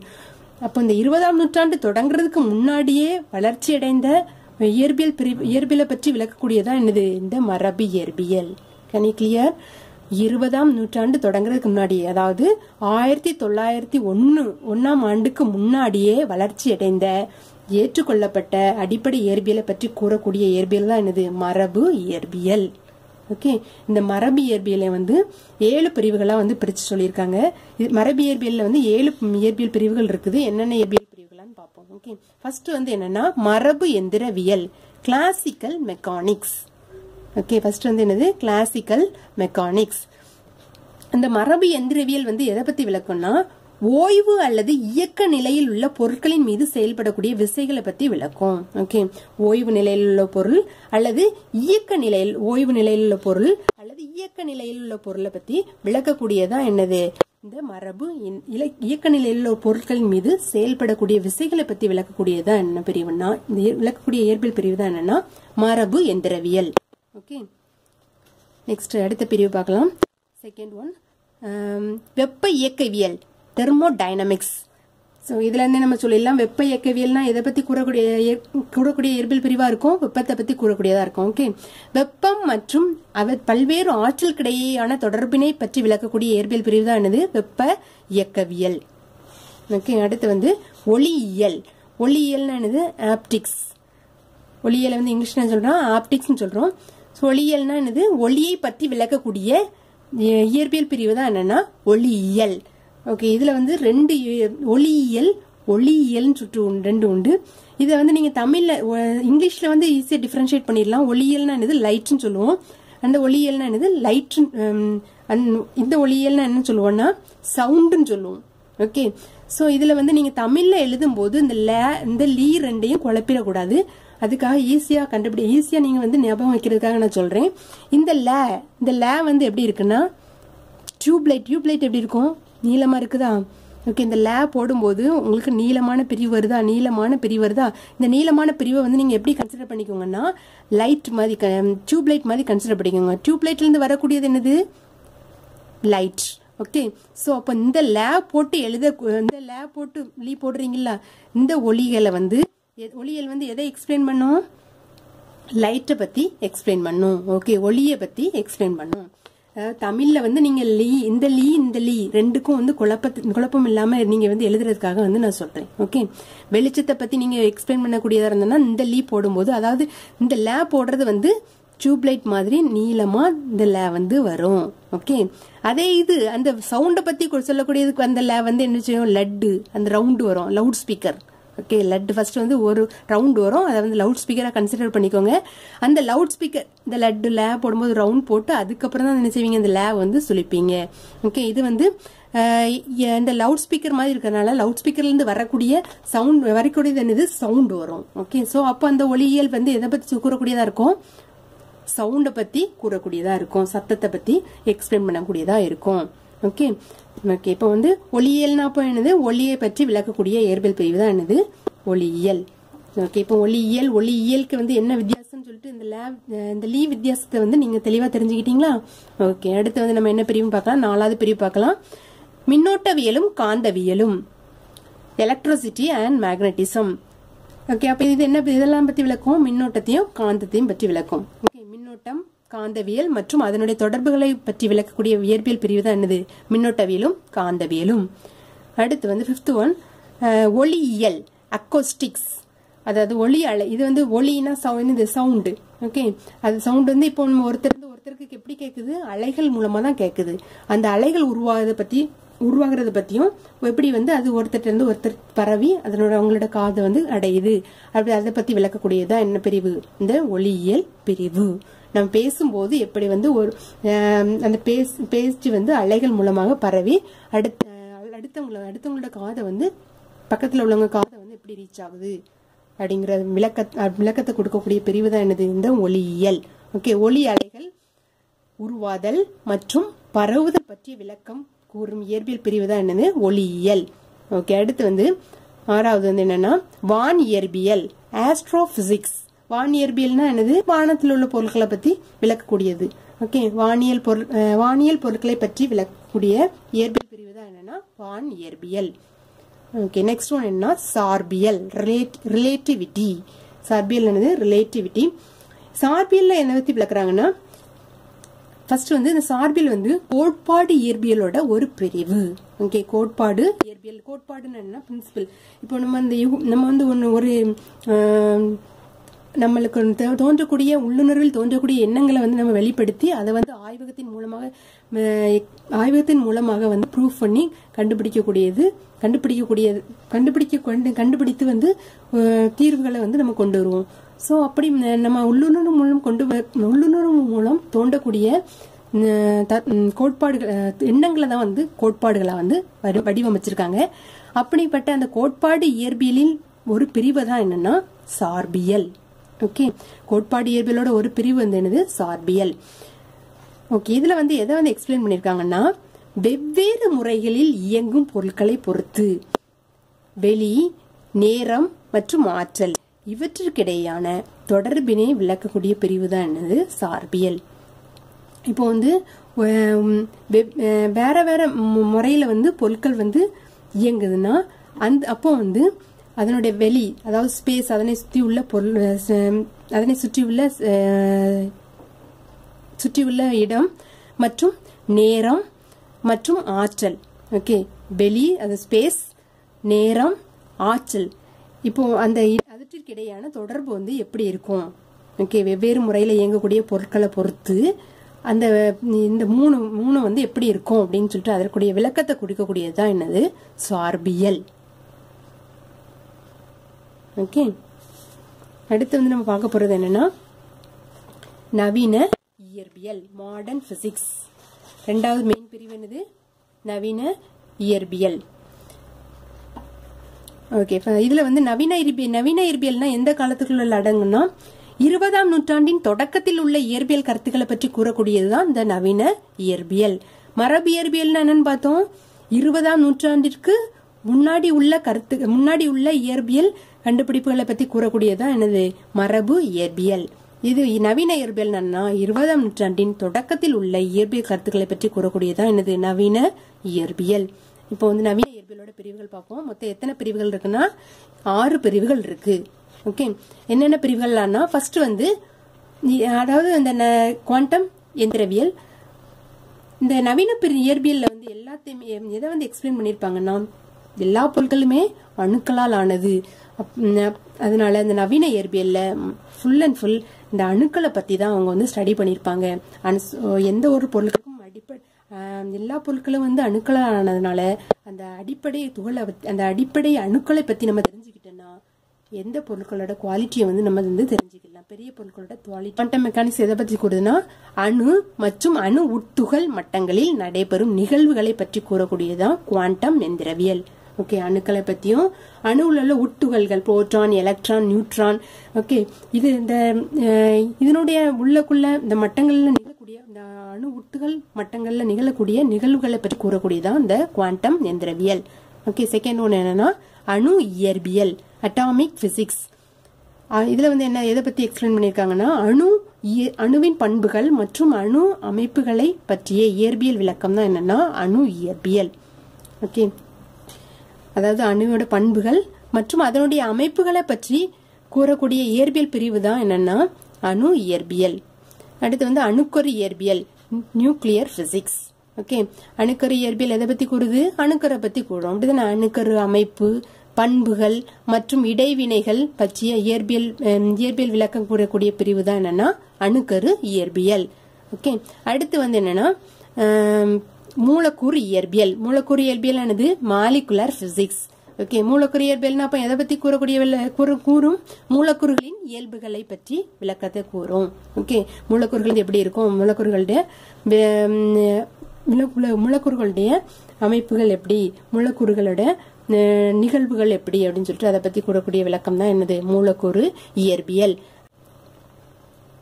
நெக்ஸ்ட் ஃபிஃப்த் ஒன் உயர் ஆற்றல் இயற்பியல் ஹை எனர்ஜி பிசிக்ஸ் ஓகே இந்த உயர் ஆற்றல் இயற்பியல் வந்து எதை பற்றி விளக்கக்கூடிய இயற்பியல் பிரிவுன்னு பார்த்தீங்கன்னா துகள்களின் இயல்புகளை பற்றி விளக்கும் இயற்பியல் பிரிவு தான் என்னன்னா உயர் ஆற்றல் இயற்பியல். ஓகே இதுக்கு மேலே நம்ம பார்த்ததெல்லாம் எதை பற்றி விளக்கிச்சு? அணுக்கரு மூலக்கூறுகள். ஓகே இந்த மூலக்கூறு ஒரு எல்லா பொருட்களுமே அணுக்களால் ஆனது அந்த அணுக்களுக்கும் அடிப்படையான துகள்கள் என்ன துகள்கள்? துகள் எத்தனை வகையான துகள்கள் இருக்குது? மூன்று இருக்குது. ஓகே இந்த மூன்று அடிப்படை துகள்கள் புரோட்டான் மூன்று அடிப்படை துகள்கள் எதெல்லாம்? புரோட்டான் எலக்ட்ரான் நியூட்ரான் இந்த மூன்று அடிப்படை துகள்களை பத்தி ப- பத்தின இயல்புகளை பத்தி படிக்கக்கூடிய பிரிவு தான் என்னது? உயர் ஆற்றல் இயற்பியல். ஸோ அப்போ நம்ம மேல பார்த்த பார்த்த இயற்பியல் பிரிவுகளை விட அட்வான்ஸா உள்ளதுதான் என்னது? இந்த ஹை எனர்ஜி பிசிக்ஸ் அதாவது உயர் ஆற்றல் இயற்பியல். ஓகே ஏன்னா இது வந்து துகள்களை பத்தி படிக்கக்கூடியதுனால இது வந்து அதுக்கும் அட்வான்ஸ் இருக்குது. ஓகே அடுத்து வந்து இதில் இதுல வந்து நவீன இயற்பியல் பிரிவில் லாஸ்டா பார்க்கக்கூடியது என்னன்னா பொதிவு பரிபொருள் இயற்பியல் கண்டென்ஸ்ட் மேட்டர் பிசிக்ஸ் ஓகே இதுல இந்த பொதிவு பரிபொருள் இயற்பியல் வந்து எதை பத்தி விளக்குதுன்னா பொதிவு பருப்பொருட்களின் பண்புகளை பத்தி விளக்குது. ஓகே பொதிவு பருப்பொருட்களோட பண்புகளை பத்தி விளக்கக்கூடியதான் என்னது? பொதிவு பருப்பொருள் இயற்பியல். ஓகே ஃபர்ஸ்ட் வந்து பொதிவு பருப்பொருள்னா என்னன்னு தெரிஞ்சுக்கிடுவோம். பொதிவு பருப்பொருள் நம்ம வந்து த்ரீ பொதிவு பருப்பொருள்னா என்னன்னா அது வந்து ஒரு பருப்பொருள் வகை. ஓகே நம்ம வந்து பருப்பொருளோட வகைகள் வந்து ஏற்கனவே எத்தனை நம்ம படி தெரிஞ்சு நம்ம படிச்சிருக்கோம் படிச்சிருக்கோம். மூன்று வகை படிச்சிருக்கோம். அப்படிதானே? திண்மம் என்னெல்லாம் படிச்சிருக்கோம்னா திண்மம் திரவம் நீர்மம் படிச்சிருக்கோம். ஓகே ஸோ அப்போ இது வந்து எத்தனாவது வகைனா நாலாவது வகை தான் என்னன்னா இந்த பொதுவு பருப்பொருள். ஓகே பொதுவு பருப்பொருள்னா என்ன வ- என்ன வகையான பருப்பு பருப்பொருட்களை வந்து சொல்றோம்னா திண்மம் திரமம் திண்மம் திரவம் இவ்விரு நிலைகளுக்கும் இடைப்பட்ட நிலையிலுள்ள பொருட்களை தான் என்னன்னு சொல்றோம்னா பொதிவு பருட்கள் பருப்பொருட்கள்னு சொல்றோம். ஓகே இது மட்டும் இல்லாமல் மற்றும் அடர் வாயுக்கள்.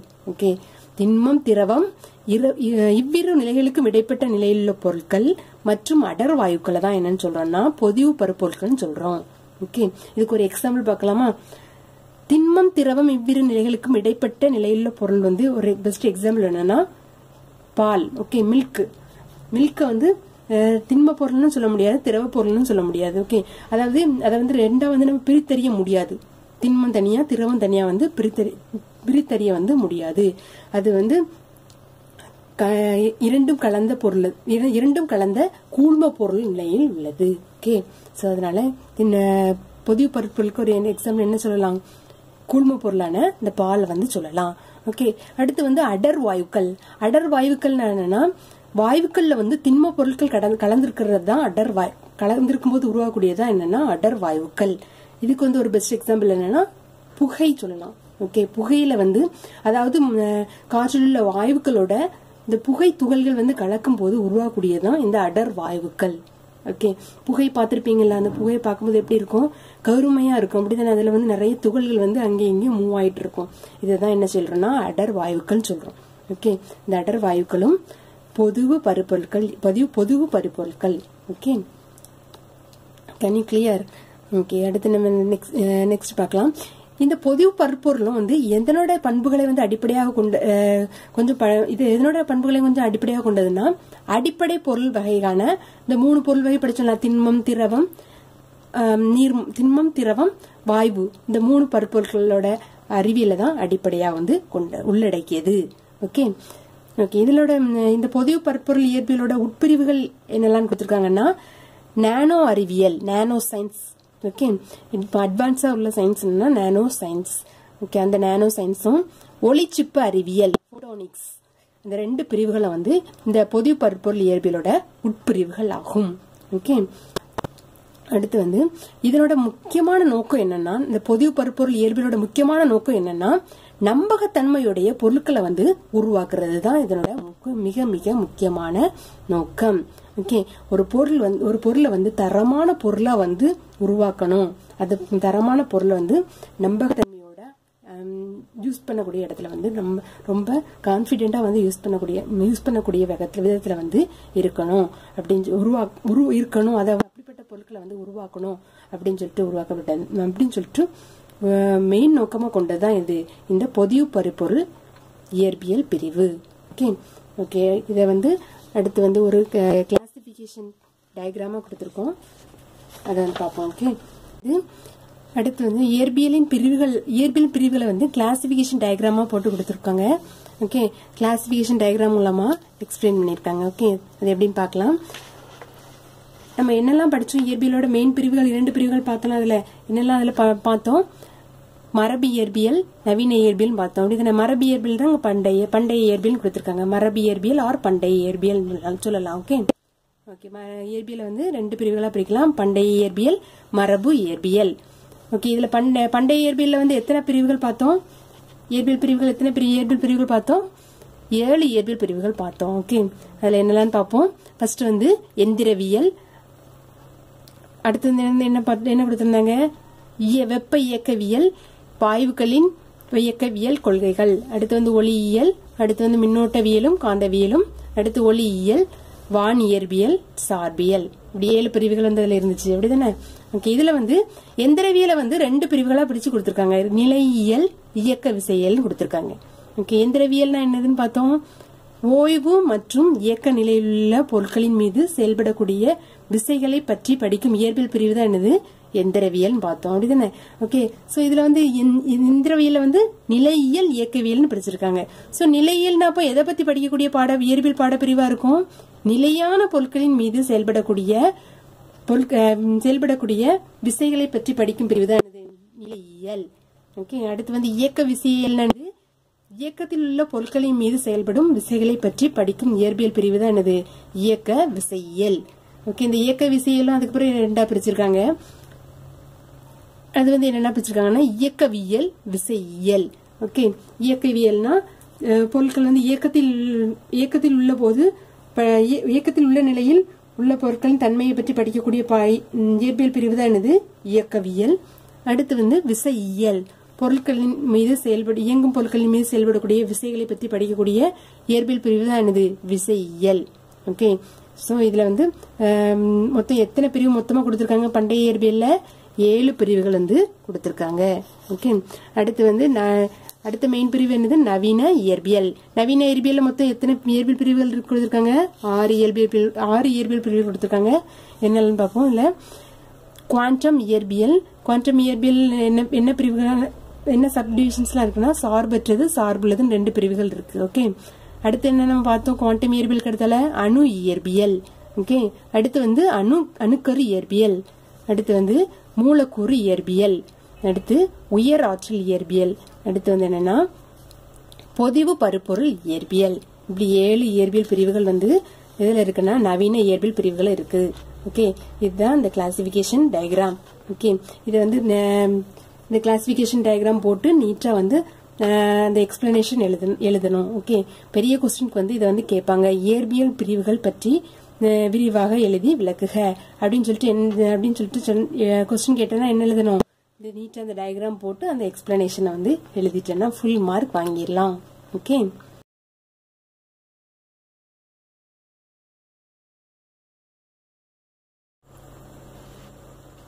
நெக்ஸ்ட் பார்க்க போறது என்னன்னா ஒன் பாயிண்ட் டூ டிவிஷனில் உள்ள second subdivision one point two two இயற்பியல் கற்றலின் இனிமையும் வாய்ப்புகளும்.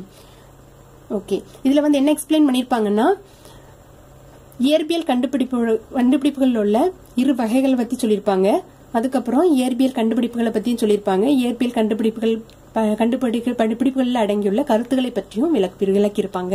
ஓகே ஃபர்ஸ்ட் வந்து இதில் என்ன பார்க்க போறோம்னா இயற்பியல் கண்டுபிடிப்புகள். ஓகே இயற்பியல் கண்டுபிடிப்புகள் வந்து ரெண்டு வகையான ரெண்டு வகைகளில் வந்து அடங்கும். இது வரைக்கும் கண்டுபிடிச்ச இயற்பியல் கண்டுபிடிப்புகளில் ரெண்டு வகைகளாக வந்து நம்ம பிரிச்சிடலாம். ஒன்று வந்து தற்காலிகம் தற்செயலாக கண்டுபிடிச்ச கண்டுபிடிப்புகள். ரெண்டாவது வந்து என்னன்னா உணர் உள்ளுணர்வு மூலம் கணித்தவற்றை ஆய்வகங்கள் மூலம் நன்கு பகுப்பாய்வு செய்து கண்டறிதல். ஓகே? இப்படி ரெண்டு வித வகையா வந்து பிரிச்சிருக்காங்க இயற்பியலோட கண்டுபிடிப்புகளை. ஃபர்ஸ்ட் வந்து என்ன வகைன்னு பார்க்கலாம்? தற்செயலான கண்டுபிடிப்புகள். தற்செயலான கண்டுபிடிப்புகள்னா ஆக்சிடென்டலா ஆக்சிடென்டலாக நடந்த கண்டுபிடிப்புகளில் தான் என்னென்னு சொல்கிறோம் தற்செயலான கண்டுபிடிப்புகள். ஓகே இதுக்கு வந்து ஒரு எக்ஸாம்பிள் மூலமாக வந்து வி- விளக்கத்தை வந்து நம்ம பார்க்கலாம். எக்ஸ் என்ன எக்ஸாம்பிள் கொடுத்துருக்காங்கன்னா காந்தம் வந்து கொடுத்துருக்காங்க. ஓகே காந்தம் வந்து வந்து எப்படி கண்டுபிடிக்கப்பட்டதுன்னா மெக்னீஷியாங்கிற இடத்துல மேக்னஸ்ங்கிற சிறுவன் வந்து ஆடுகளை வந்து மே- ஆடுகளை வந்து மேய விட்டுட்டு ஆடுகள் மேயக்கூடிய சிறுவன் வந்து அவன் அப்போ வந்து ஒரு நேரம் ஒரு நாளில் வந்து ஆடுகளை மேய விட்டுட்டு ஒரு பாறையில வந்து உட்கார்ந்துருந்தான் ஓகே அப்போ வந்து ஆடு மேய்க்கக்கூடிய அந்த கம்பை வந்து கையில வச்சிருந்தான் அந்த கம்போட நுனியில வந்து என்ன பொருத்தப்பட்டிருந்ததுன்னா இரும்பாலான கம்பி வந்து அந்த கம்ப கம்போட நுனியில வந்து சுத்தி பொருத்தப்பட்டிருந்தது. அந்த கம்பை வச்சு அந்த பாறையில அடிச்சு விளையாண்டுட்டு இருக்கப்ப ஒரு பாறையில வந்து அந்த கம்பு வந்து ஒட்டிக்கிட்டு நல்லா டைட்டா வந்து ஒட்டிக்கிட்டு ஓகே ஸோ அந்த கம்பை வந்து அவனால இழுத்து வந்து எடுக்க முடியல ஓகே அப்போ வந்து அந்த இடத்துல வந்து அந்த பாறைக்கு வந்து இருக்கக்கூடிய சக்தி வந்து இருக்குதுன்னு சொல்லிட்டு வந்து வந்து அந்த பையன் வந்து உணர்ந்தான். ஓகே அதுக்கப்புறம் சில சில ஆண்டுகளுக்கு அப்புறம் அதை சில ஆண்டுகளுக்கு அப்புறம் அது வந்து காந்தம் காந்தம் சொல்லிட்டு வந்து என்ன செஞ்சாங்க? அறிவியல் அறிஞர்கள் வந்து கண்டுபிடிச்சாங்க. இவங்க கண்டுபிடிச்சு க- கண்டுபிடிச்சு அதன் மூலமாக வெளிப்படுத்தினது தான் இந்த காந்தம் காந்தம்ங்கிற பொருள். ஓகே இந்த கா இப்படிதான் இந்த வந்து காந்தம் வந்து கண்டுபிடிக்கப்பட்டது. அதுக்கப்புறம் வந்து அந்த காந்தத்தோட தன்மைகளை பத்தி தெரிஞ்சுக்கிட்டாங்க. அந்த காந்தத்தோட ப- தன்மைகள் தன்மைகள் மற்றும் அந்த காந்தத்தோட வினோதமான பண்புகளையும் பற்றி தெரிஞ்சுக்கிட்டாங்க. அது அதன் மூலமாக வந்து செயற்கை காந்தங்களையும் வந்து என்ன செஞ்சாங்க? உருவாக்குனாங்க. ஓகே ஓகே இப்போ இதில் என்ன கொடுத்துருக்காங்கன்னு பார்க்கலாம். காந்தத்தின் தன்மை தற்செயலாக உணரப்பட்டது. ஃபர்ஸ்ட் வந்து தற்செயலாக தான் உணர்ந்தான் ஒரு சிறுவன் இந்த மேக்னஸ்ங்கிற சிறுவன் உணர்ந்ததுனால தான் இதை வந்து இங்கிலீஷில் என்ன சொல்கிறாங்க மேக்னெட்னு ஃபர்ஸ்ட் காந்தத்துக்கு வந்து மேக்னெட்னு பேர் வந்ததே. அந்த மேக்னஸ்ங்கிற பையனால உண ஃபர்ஸ்ட் வந்து கண்டுபிடிக்கப்பட்டதுனால தான் அந்த உணர்வு அந்த விசையை வந்து கண்டுபிடிக்கப்பட்டதுனால தான் அதை வந்து என்ன சொல்கிறாங்க மேக்னெட்னு வந்து சொல்கிறாங்க ஓகே ஸோ காந்தத்தன்மை வந்து தற்செயலாக தான் உணரப்பட்டுச்சு. அதுக்கப்புறம் தான் என்ன பண்ணாங்கன்னா காந்தவியலோட வினோத பண்புக பண்புகளை வந்து கோட்பாட்டு அளவில் வந்து பகுப்பாய்வு செய்யப்பட்டன. ஓகே அசம்ஷனோட பெயரில் வந்து அதாவது இந்த பண்புகள் இருக்கலாம் அந்த பண்புகள் இருக்கலாம் அப்படின்னு சொல்லிட்டு என்ன செஞ்சாங்க? அந்த ப- அந்த யூக அந்த பண் வினோதமான பண்புகளை வந்து அந்த கோட்பாடு அந்த தியோரிட்டிக்கலாக வந்து அதை வந்து என்ன செஞ்சாங்கன்னா பகுப்பாய்வு செய்து கண்டுபிடிச்சாங்க. ஓகே அதுக்கப்புறம் இந்த பகுப்பாய்வு தான் எதுக்கு எதை வந்து வெளிப்படுத்துச்சுன்னா காந்தத்தோட அடிப்படை பண்புகளை வந்து வெளிப்படுத்துச்சு. காந்தத்துக்கு அந்த காந்தம் வந்து எப்போ எந்த காந்த ஊசி வந்து ஒரு இடத்துல வச்சோன்னா எப்பவும் நார்த் சவுத் டைரக்ஷன்ல தான் இது வந்து நிற்கும் அப்படின்னு சொல்லிட்டு சொன்னாங்க. அதுக்கு வந்து நான் அது அதுக்கப்புறம் வந்து ஒரே அதாவது ஒரே விதமா ஒரே அதாவது நார்த் நார்த் நார்த் டைரக்ஷனோட மேக்னெட்டும் நார்த் டைரக்ஷனோட மேக்னெட்டும் வந்து ஒன்றே ஒரே விதமான திசையில் உள்ள காந்தங்கள் வந்து ஒன்றை ஒன்று விளக்கும். வேறு வே- இரு வேறுபட்ட அதாவது நார்த் சவுத் டைரக்ஷன் இருந்ததுன்னா என்ன செய்யும்? அது வந்து ஒன்றை ஒன்று ஈர்க்கும். இரு வேறுபட்ட திசைகள் வந்து ஒன்றை ஒன்று ஈர்க்கும். ஓகே காந்தத்தின் ஒரே விதமான திசைகள் ஒன்றை ஒன்று விளக்கும். இரு வேறுபட்ட திசைகள் வந்து என்ன செய்யும்? ஒன்றை ஒன்று ஈர்க்கும் சொல்லிட்டு அந்த பண்புகளை வந்து சொன்னாங்க. ஓகே ஸோ அதுக்கப்புறம் காந்தங்கள் வந்து இரும்பு பொருட்களை மட்டும்தான் ஈர்க்கக்கூடிய தன்மை இருக்குது அதுக்கு. பிளாஸ்டிக் பிளாஸ்டிக் ரப்பர் போன்ற பொருட்கள் எல்லாம் இதுக்கு வந்து ஈர்க்கக்கூடிய தன்மை இல்லை அப்படின்னு சொல்லிட்டு நிறைய பண்புகளை வந்து பகுப்பாய்வு செய்து வந்து கண்டுபிடிச்சாங்க. ஓகே ஆய்வுகள் மூலம் வந்து கண்டுபிடிச்சாங்க. அதுக்கப்புறம் வந்து இயற்கையில் இயற்கையில கடை இந்த பண்புகள் மூலமாக வந்து வந்தவங்க வந்து செயற்கை காந்தங்களையும் உருவாக்குனாங்க. ஆய்வகத்துல வந்து உருவாக்குனாங்க. எதுக்காகன்னா இயற்கை காந்தங்கள் வந்து அவங்களுக்கு வந்து உருவாக்கின இ- இயற்கை காந்தங்கள் வந்து இவங்களுக்குள்ள யூஸ் பண்ணக்கூடிய அந்த மிஷினுக்கு அதுக்கப்புறம் தே- தேவைக்கேற்ப வந்து வடிவமைக்கப்பட முடியலன்னு அவங்களாவே அந்த காந்தத்தோட பண்புகளை வச்சு செயற்கை காந்தங்களை வந்து உருவாக்குனாங்க. ஆய்வு ஆய்வகத்தில் வந்து செயற்கை காந்தங்களை வந்து உருவாக்குனாங்க. அது என்னென்ன ஷேப்லலாம் இருக்கும்னா பார் மேக்னெட் சட்ட காந்த வடிவத்தில் சட்ட காந்த வடிவம். ஓகே என்ன வடிவத்தில் இருக்கும்னா இப்படி நீளமாக இது சட்ட சட்டக்காந்த வடிவம் நார்த் டைரக்ஷன் சவுத் டைரக்ஷன் இருக்கும். ஓகே அதுக்கப்புறம் என்ன என்ன அதுக்கப்புறம் என்ன வடிவெல்லாம் நீங்கள் கேள்விப்பட்டிருக்கீங்க? வட்ட வடிவ காந்தம். ஓகே அடுத்து லாட வடிவ காந்தம். அடுத்து என்ன வடிவ காந்தம்? உருளை வடிவ காந்தம். ஓகே இப்படி வேறுபட்ட வடிவங்களில் வந்து காந்த செயற்கை காந்தங்களை வந்து வடிவமைச்சு த- நம்- நம் தமிழுக்கு தேவைக்கேற்ப வந்து அதற்கு வடிவமைச்சு வந்து அதை வந்து யூஸ் பண்ணாங்க.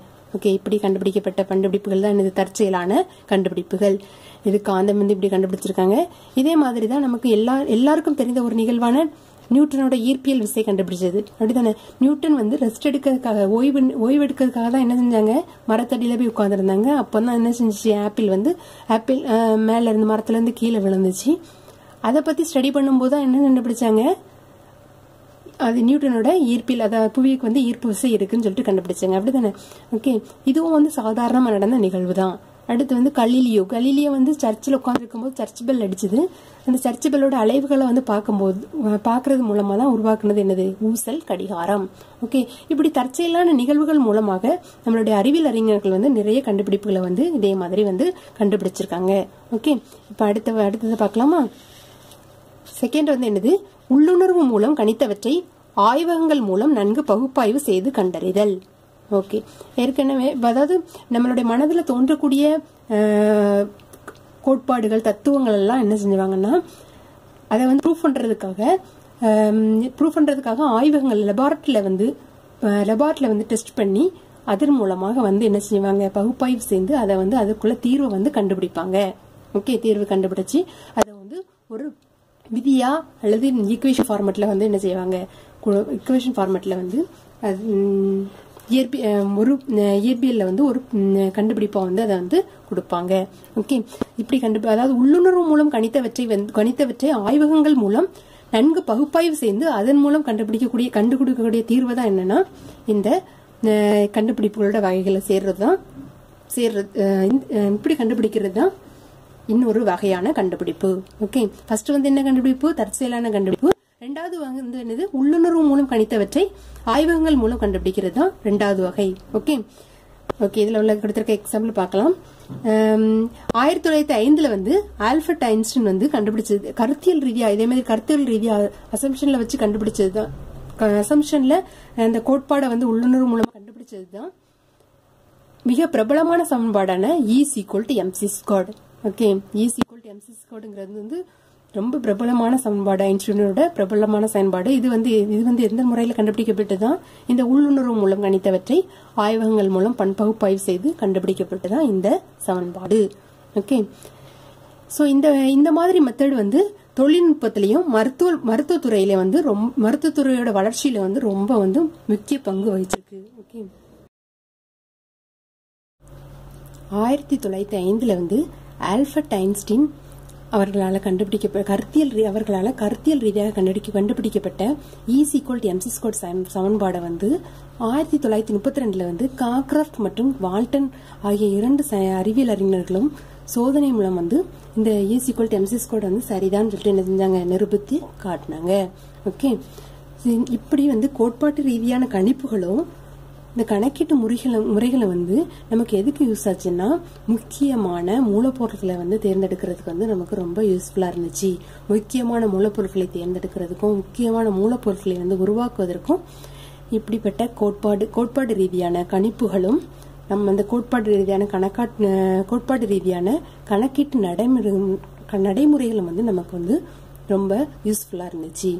ஓகே இது மட்டும் இல்லாமல் மருந்து தயாரிப்பு நிறுவனங்களில் புதிய பொருட்களை வந்து தயாரிக்கிறதுக்கு வந்து இந்த அணுகுமுறைகள் வந்து ரொம்ப ரொம்ப யூஸ்ஃபுல்லாக இருந்துச்சு. ஓகே மருந்து தயாரிக்கிற மருந்து தயாரிப்பு நிறுவனங்களில் வந்து புதிய பொருட்கள் வந்து தயா- தயாரிக்கிறதுக்கு வந்து இந்த அணுகுமுறை வந்து ரொம்ப இந்த அணுகுமுறையை யூஸ் பண்ணி தான் அவங்க வந்து நியூ பொருட்களை வந்து தயாரிச்சாங்க. ஓகே அடுத்து வந்து மனி மாற்று உறுப்புகள் தயாரிக்கிறதுக்கு வந்து இயற்பியல் வந்து ஒரு பிரிவு வந்து ரொம்ப யூஸ்ஃபுல்லாக பயன் யூஸ்ஃபுல்லாக இருந்துச்சு. என்னன்னா அது வந்து குவாண்டம் இயற்பியல். ஓகே மாற்று உயர் உறுப்புகள் தயாரிக்கிறதுக்கு வந்து மிகவும் பயனுள்ளதாக இருந்த இயற்பியல் பிரிவு என்னது? குவாண்டம் இயற்பியல். இதில் வந்து எப்படி மாற்று உறுப்புகள் தயாரிச்சாங்கன்னா மனிதனோட ம- வந்து எந்த விதத்திலையும் அஃபெக்ட் பண்ணாத அளவுக்கு உள்ள விளைவிக்காத விளைவிக்க விளைவிக்காத பொருளை யூஸ் பண்ணி தான் இந்த மாற்று உறுப்புகளை வந்து தயாரிச்சாங்க. ஓகே மனிதனுக்கு ஊடல் உடல் மனிதனோட உடலுக்கு வந்து ஊறு விளைவிக்காத பொருட்களை கொண்டு மாற்று உறுப்புகள் தயாரிப்பதற்கு டேஸ் இயற்பியல் பயன்படுத்தப்பட்டது அப்படின்னு சொல்லிட்டு என்ன சொன்ன- பயன்படுத்தப்படுகிறதுன்னு கேட்டால் என்ன எழுதுவீங்க? குவாண்டம் இயற்பியல் ஓகே இதெல்லாம் உண்மையுக்கு வந்து கேட்பாங்க.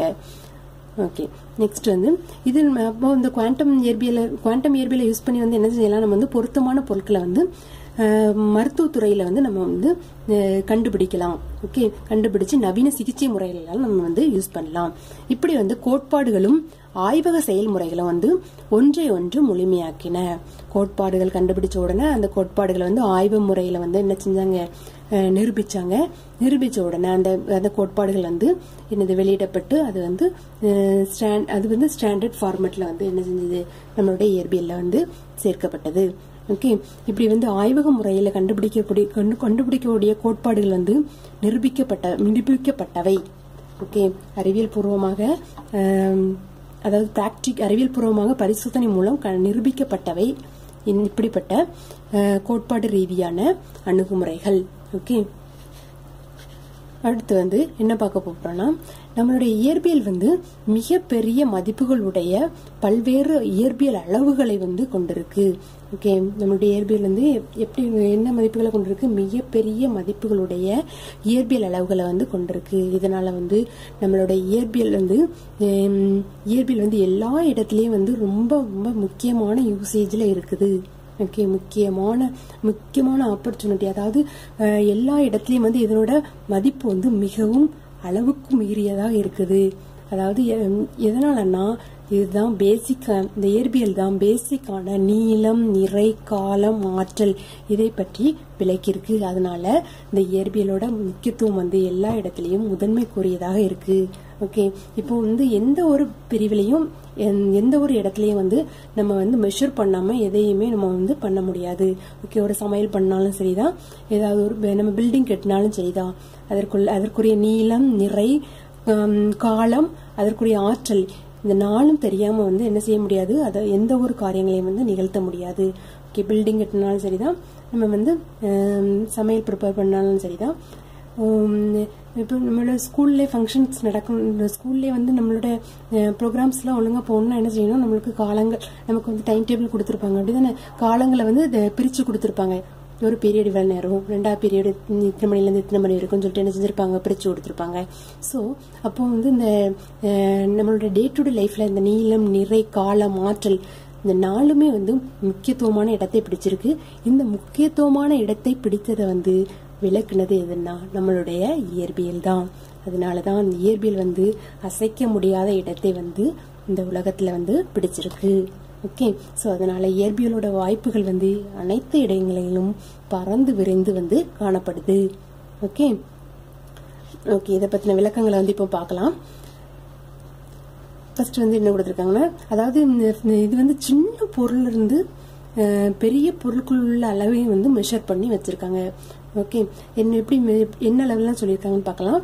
ஃபர்ஸ்ட் வந்து எலக்ட்ரான் புரோட்டான்களை உள்ளடக்கிய மீச்சிறு அளவு முதல் வானியல் வானியல் அளவுகள் போன்ற பெரிய மிகப்பெரிய அளவுகள் வரை இயற்பியல் வந்து எடுத்துரைக்கிறது.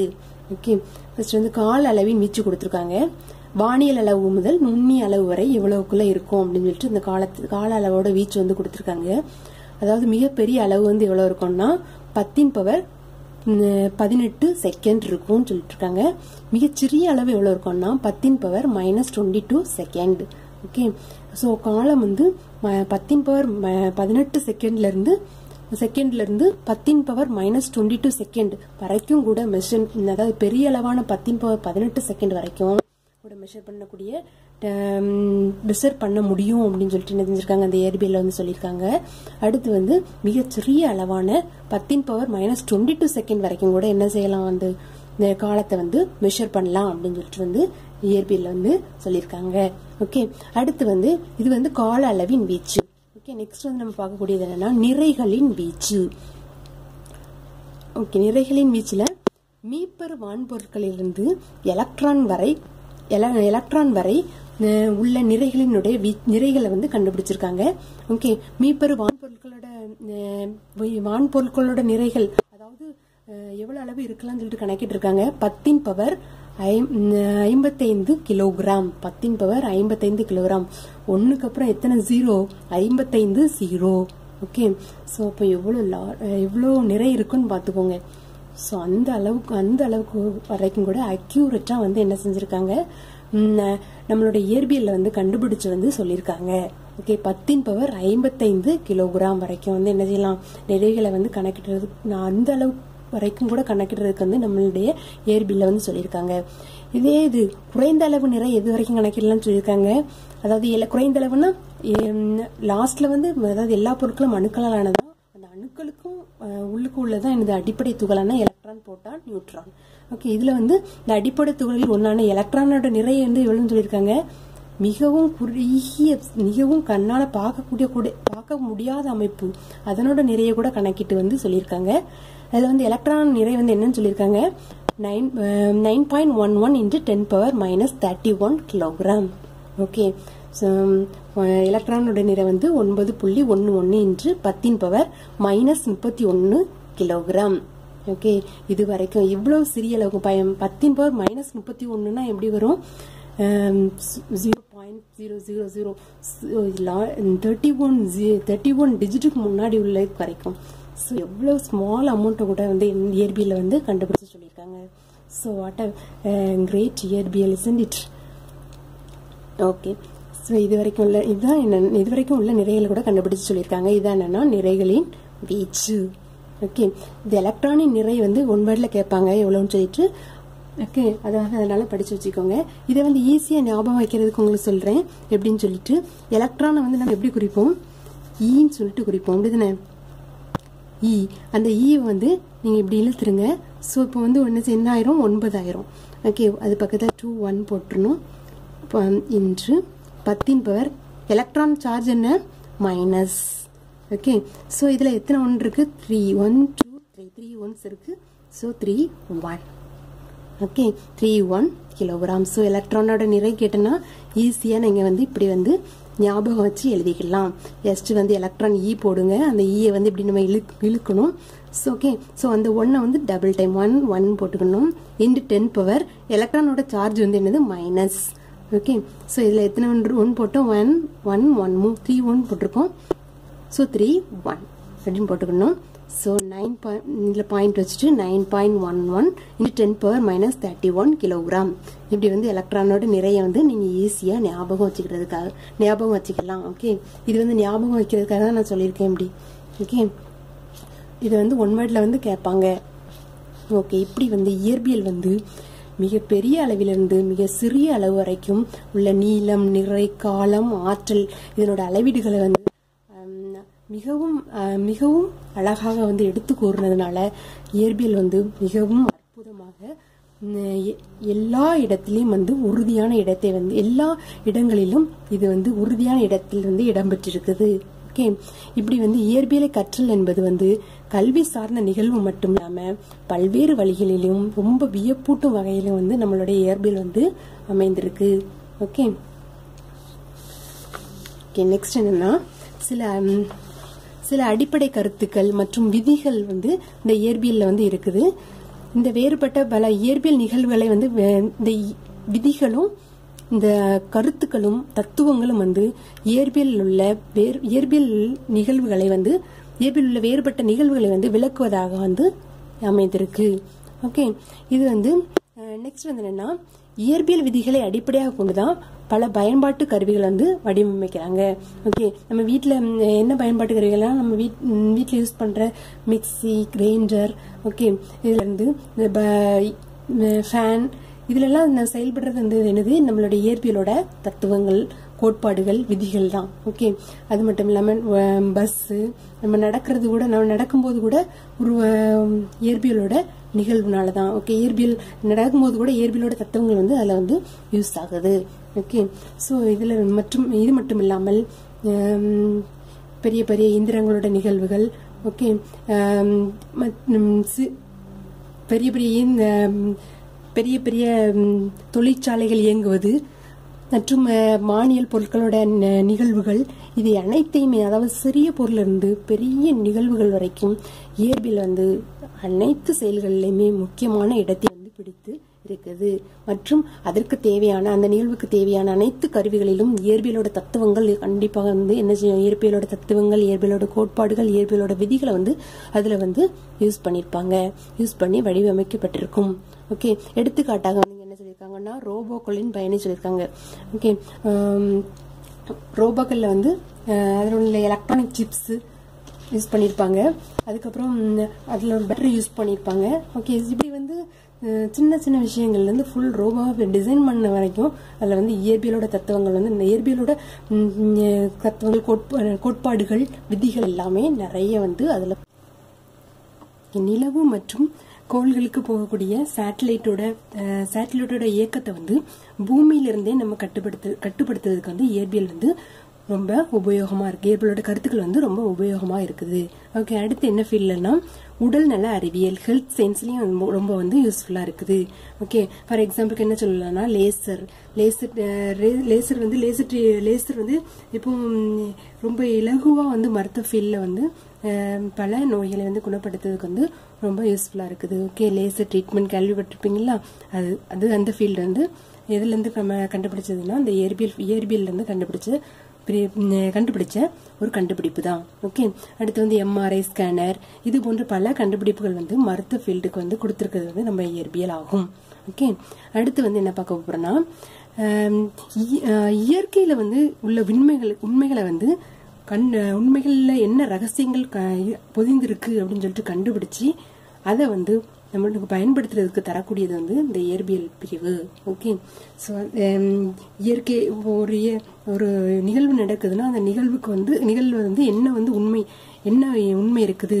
ஓகே எதன் அடிப்படையில் வந்து அது செயல்படுது அப்படிங்கிற அப்படிங்கிற தகவல்கள் வந்து ஆராய்ச்சி பூர்வமாக வந்து ஆராய்ந்து அதை வந்து ச- நமக்கு ப- பயனுள்ள விதமாக அதை வந்து எடுத்து கொடுக்கக்கூடியது எடுத்து கொடுக்கக்கூடியது வந்து இந்த இயற்பியல் ஆகும் ஓகே அடுத்து அது மட்டும் இல்லாமல் அதை வந்து அது கோட்பா அறிவியல் கோட்பாடுகளை வந்து கோட்பாடுகளின் உண்மை நிலையை வந்து உறுதிப்படுத்தவும் செய்யுது. ஓகே ஆய்வகங்கள் மூலமாக அந்த கோட்பாடுகள் அறிவியல் கோட்பாடுகள் இருந்ததுன்னா அந்த அறிவியல் கோட்பாடு கோட்பாடுகள் வந்து ஆய்வக உண்மை அதனுடைய கோட்பாடுகளோட உண்மை நிலை வந்து ஆய்வகங்கள் மூலமாக உறுதிப்படுத்தவும் செய்யறதுல இந்த இயற்பியல் வந்து ரொம்ப முக்கியத்துவம் வாய்ந்ததா இருக்குது. ஓகே அடுத்து என்ன பார்க்க போகிறோன்னா இப்போ வந்து நம்ம மனதுக்குள்ள வந்து நிறைய வந்து நம்ம மனசுல வந்து நிறைய கொஸ்டின் இப்போ ஏதாவது ஒரு இதை பார்க்கும்போது ஏன் ஏன் நடக்குது எதுக்கு நடக்குது எப்போ எ- எப்போ நடந்துச்சு எவ்வாறு நடந்துச்சு அப்படின்னு சொல்லிட்டு வந்து நம்ம மனசுல வந்து நிறைய கொஸ்டின் வந்து ஒரு இதை ஒரு ஆக்சிடென்ட்ல ஒரு இன்சிடெண்ட்டை பார்த்த உடனே நம்ம வந்து கா- கேட்க தோணும். அப்படின்னு ஏன் எதற்கு எப்படி எவ்வாறு? இது போன்ற கேள்விகளுக்கு அனைத்துக்குமே இந்த இயற்பியல் வந்து பதில் கொடுக்கக்கூடியதாக இருக்கும். இயற்பியலோட ஆராய்ச்சிகள் சரிதான் இயற்பியலோட கண்டுபிடிப்புகளும் சரிதான். ஏன் எதற்கு எப்படி எவ்வாறு இது போன்ற கேள்விகளுக்கு வந்து விளக்கமான பதிலை அளி தெ- மிக தெளிவாக அளிக்கக்கூடியது. ஓகே? இந்த ஆராய் அடுத்து வந்து அதனால தான் இப்படி தெளிவான பதிலை அளி அதாவது எதையுமே ஆராய்ச்சி பூர்வமா ப்ரூஃப் பண்ணி கொண்டு வந்ததுனால தான் இந்த இயற்பியல் வந்து இன்னும் இன்னும் பல பறந்து பிரிந்து பல பிரிவுகளில் வந்து மிகவும் முக்கியத்துவம் வாய்ந்த பெரிய முக்கிய முக்கியத்துவம் வாய்ந்த ஒரு அசைக்க முடியாத ஒரு இடத்துல வந்து இந்த இயற்பியலோட பிரிவு வந்து இருக்குது. ஓகே. அடுத்து வந்து இதில் வந்து என்ன வே- இந்த இயற்பியல் பிரிவு தான் வந்து என்ன சொன்னோம் என்ன சொன்னோம்? அறிவியலோட அடிப்படையான பிரிவுன்னு சொன்னோம். அப்படிதானே? ஓகே இப்போ எல்லாரும் படிக்கக்கூடிய பொறியியல் மற்றும் தொழில்நுட்ப பாடப்பிரிவில் வந்து எதற்காக வந்து இந்த இயற்பியலை வந்து இயற்பியல் பாடத்தை வந்து கொடுத்துருக்காங்க? எதற்காகனா இந்த இயற்பியல் பாடப்பிரிவு தான் இந்த பொறியியல் மற்றும் தொழில்நுட்ப பாடப்பிரிவுகளுக்கு வந்து அடிப்படையாக அமைந்த பேசிக் அடிப்படையாக அமைந்த கருத்து. ஓகே. இந்த இந்த பொறியியல் தொழில்நுட்ப பாட பாடப்பிரிவுகள்லாம் இந்த இயற்பியலோட அப்ளிகேஷன் பாடப்பிரிவுகள் தான். ஓகே. இயற்பியல் பா- இயற்பியலோட தத்துவங்கள் விதிகள் கோட்பாடுகள் எல்லாத்தையும் யூஸ் பண்ணி அந்த அதை அப்ளை பண்ணி படிக்கக்கூடிய பாடப்பிரிவு தான் என்னது? இந்த பொறியியல் தொழில்நுட்ப பாடப்பிரிவுகள். அதனால தான் என்ன பண்ணியிருக்காங்கன்னா இந்த பொல்- பொறியியல் மற்றும் தொழில்நுட்ப பாடப்பிரிவுகளில் பேசிக் கருத்துக்களை தெரிந்துக்கிறது பேசிக் ஃபண்டமெண்டல் கான்செப்ட்ஸை தெரிந்து கொள்றதுக்காக தான் என்ன பண்ணியிருக்காங்கன்னா இயற்பியலை வந்து பாடப்பிரிவாக வந்து ஒரு முக்கியமான பாடப்பிரிவாக வந்து இந்த பா- பொறியியல் மற்றும் தொழில்நுட்ப பாடப்பிரிவில் வந்து கொடுத்துருக்காங்க. ஓகே இதோட நம்ம ஒன் பாயிண்ட் டூ பிரிவு வந்து முடியுது. அடுத்து வந்து இதில் உள்ள ஒன் வேர்டை வந்து நம்ம பார்க்கலாம். ஓகே போகிறோன்னா இந்த யூனிட் ஒன்ல உள்ள ஒன் பாயிண்ட் டூ டிவிஷன்ல உள்ள ஒரு மதிப்பெண் வினாக்களை பத்தி பார்க்க போகிறோம் ஓகே இவ்வளவு நேரம் நம்ம வந்து பாடத்தை கவனிச்சோம். இந்த ஒன் பாயிண்ட் டூ பிரிவு one point two and one point two பிரிவில் உள்ள ரெண்டு டிவிஷன்ஸ் உள்ள விளக்கத்தை வந்து பார்த்தோம். இதில் உள்ள ஒரு மதிப்பெண் வினாக்களை பத்தி பார்ப்போம். ஓகே சரி கேட்குறேன் நீங்க வந்து அதற்கு வந்து பதில் சொல்லுங்க. கவனிச்சதை வச்சு நீங்க வந்து அதுக்கு வந்து என்ன பதில் வரும்னு சொல்லுங்க. ஓகே ஃபர்ஸ்ட் கொஸ்டின் பிசிக்ஸ் இயற்பியல் இல்லானது டேஸ் என்ற பொருளுடைய டேஸ் சொல்லிலிருந்து வந்தது. ஓகே. பிசிக்ஸ்ங்கிற சொல் வந்து எந்த பிசிக்ஸ்ங்கிற சொல்லுக்கு வந்து என்ன பொருள்? இயற்கை. எந்த மொழியிலிருந்து வந்துச்சு? கிரேக்க மொழியிலிருந்து வந்துச்சு. தியூசிஸ் என்னும் கிரேக்க சொல்லிலிருந்து வந்தது. ஓகே. ஓகே அதிலே வந்து கூட இன்னொன்று இன்னொன்று இருக்குது. இயற்பியல் என்ற பெயர் டேஸ் என்பவரால் டேஸில் அறிமுகப்படுத்தப்பட்டது. இயற்பியல்ங்கிற பெயரை வந்து அறிமுகப்படுத்தினது யாரு? அரிஸ்டாட்டில். ஓகே எப்போ அறிமுகப்படுத்துனாங்கன்னு பார்த்தோம்? போ ஆமு முன்னூத்தி ஐம்பதுல வந்து அறிமுகப்படுத்தினாங்க. ஓகே அடுத்து வந்து செகண்ட் கொஸ்டின் இயற்கை மற்றும் இயற்கை நிகழ்வுகளை பற்றி பயில்வது டேஸ் ஆகும். இயற்கை மற்றும் இயற்கை நிகழ்வுகளை பற்றி பயில்வது என்னது? இயற்பியல். ஓகே தேர்ட் ஒன் டேஸ் அறிவியலின் அனைத்து பிரிவுகளுக்கும் அடிப்படையானது ஆகும். அறிவியலின் அனைத்து பிரிவுகளுக்கும் அடிப்படையானது இயற்பியல் ஆகும். ஓகே இயற்பியல் பயில்வதில் உள்ள அணுகுமுறைகள் டேஸ் அண்ட் டேஸ் ரெண்டு அணுகுமுறை பார்த்தலாம் என்னெல்லாம்? ஒருங்கிணைத்து பார்த்தல் மற்றும் பகுத்து பார்த்தல். ஓகே ஃபிஃப்த் ஒன் வேறுபட்ட இயற்பியல் நிலை நிகழ்வுகளை ஒரு சில தத்துவங்கள் மற்றும் விதிகளை பயன்படுத்தி விளக்க முயற்சித்தல் டேஸ் ஆகும். ஒருங்கிணைத்து பார்த்தல். நெக்ஸ்ட் ஒரு பெரிய அமைப்பின் அல்லது பொருளை அதனுள் அடங்கிய நுண்ணிய துகள்களின் மூலம் விளக்க முயற்சிப்பது டேஸ் ஆகும். பகுத்து பார்த்தல்.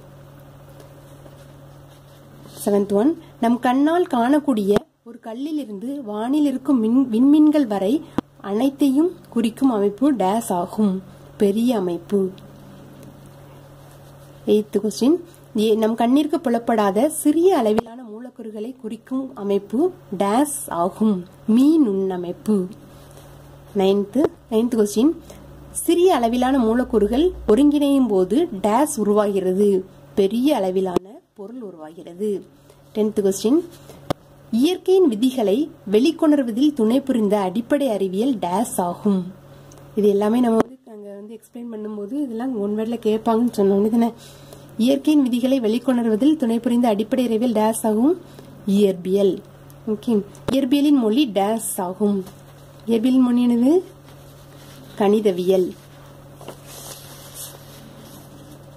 அடுத்து டுவெல்த் கொஸ்டின் பழங்காலத்தில் மனிதர்கள் வான்பொருட்கள் மற்றும் விண்மீன்களின் இயக்கங்களை ஆதாரமாக கொண்டு டேஸ் கணித்தனர். பருவ காலங்களை கணித்தனர். தேர்டீன்த் ஒன் விதைக்கும் மற்றும் அறுவடை செய்யும் காலங்களை டேஸை நோக்குவதன் மூலம் அனுமானித்து வந்தனர். வான்வெளியை நோக்குவதன் மூலம் அனுமானித்து வந்தனர். ஓகே அடுத்து ஃபோர்டீன்த் கொஸ்டின் முதன் முதலில் வளர்ச்சியடைந்த அறிவியல் பிரிவு டேஸ் டேஸ் ஆகும். முதன் முதலில் அறிவியல்- முதல் முதலில் வளர்ச்சியடைந்த அறிவியல் பிரிவு என்னது? வானிலும் கணிதவியலும். ஓகே ஃபிஃப்டீன்த் கொஸ்டின் இருபதாம் நூற்றாண்டின் தொடக்கத்திற்கு முன் வளர்ச்சியடைந்த மற்றும் ஏற்றுக்கொள்ளப்பட்ட அடிப்படை இயற்பியல் பற்றியது டேஸ் ஆகும். மரபு இயற்பியல். ஓகே மரபு இயற்பியல் தானே இருபதாம் நூற்றாண்டின் தொடக்கத்துக்கு முன்னாடியே வளர்ச்சி அடைஞ்சதுன்னு பார்த்தோம்லாம். ஓகே அதுதான் கொடுத்துருக்காங்க. அடுத்து வந்து இருபதாம் நூற்றாண்டின் தொடக்கத்தில் உள்ள இயற்பியல் பற்றியது டேஸ் ஆகும். நவீன இயற்பியல். அடுத்து வந்து இப்போ அந்த இயற்பியல் இயற்பியலோட பிரிவுகள் கொடுத்துருக்காங்க இதில். ஓய்வு அல்லது இயக்க நிலையில் உள்ள பொருட்களின் மீது செயல்படும் விசைகளை பற்றி விளக்கும் இயற்பியல் பிரிவு டேஸ். ஓய்வு மற்றும் இயற்கை ஓய்வு மற்றும் இயக்க நிலையில் உள்ள பொருட்கள் மீது செயல்படக்கூடிய விசைகளை பற்றி கூறியது என்ன பிரிவுன்னு பார்த்தோம்? மரபு இயற்பியல். ஓகே. பதினெட்டாவது கொஸ்டின் வெப்பம் மற்றும் பல்வேறு ஆற்றல்களுக்கிடையேயான தொடர்பை பற்றிய விளக்கம் கூறும் இயற்பியல் பிரிவு டேஷ். என்னது? வெப்ப இயக்கவியல். ஒளியை பற்றிய விளக்கம் கூறும் இயற்பியல் பிரிவு டேஷ் ஒளியியல். இருபதாவது கொஸ்டின் மின்னோட்டம் காந்தவியல் மற்றும் அதன் தொடர்புகளை பற்றி விளக்கும் இயற்பியல் பிரிவு டேஷ் எனது மின்னோட்டம் மின்னோட்டவியலும் காந்தவியலும். ஓகே அடுத்து இருபதாறு இருபத்தோராவது கொஸ்டின் ஒளி அலைகள் உருவாதல் மற்றும் பரவுதல் பற்றி பற்றிய விளக்கம் கூறும் இயற்பியல் பிரிவு டேஷ் ஒளியியல். ஓகே அடுத்து இருபத்தி ரெண்டாவது கொஸ்டின் வானியல் பொருட்களை பற்றி விளக்கம் கூறும் இயற்பியல் பிரிவு என்னது? வா- டேஷ் என்னன்னா வானி வான் இயற்பியல். ஓகே இருபத்தி மூணாவது கொஸ்டின் வெவ்வேறு முறைகளில் இயங்கும் பொருட்களை பொருட்களை பொறுத்து வெளி நேரம் மற்றும் ஆற்றல் இவற்றிற்கிடையேயான தொடர்புகள் தொடர்பிற்கான விளக்கம் கூறும் இயற்பியல் பிரிவு டேஷ் அப்படின்னு கேட்டால் எழுதணும். சார்பியல். ஓகே வெளி நேரம் மற்றும் இயற்ப ஆற்றல் இவற்றிற்கிடையேயான தொடர்புகள் தொடர்புகளை விளக்கும் விளக்கம் கூறும் இயற்பியல் பிரிவுனா என்னன்னா? சார்பியல். ஓகே அடுத்து வந்து கோட்பாடு இயற்பியல் இயற்பியலின் ஒரு பிரிவு டேஷ் ஆகும். அப்படின்னு கேட்டா என்னது? சார்பியல்.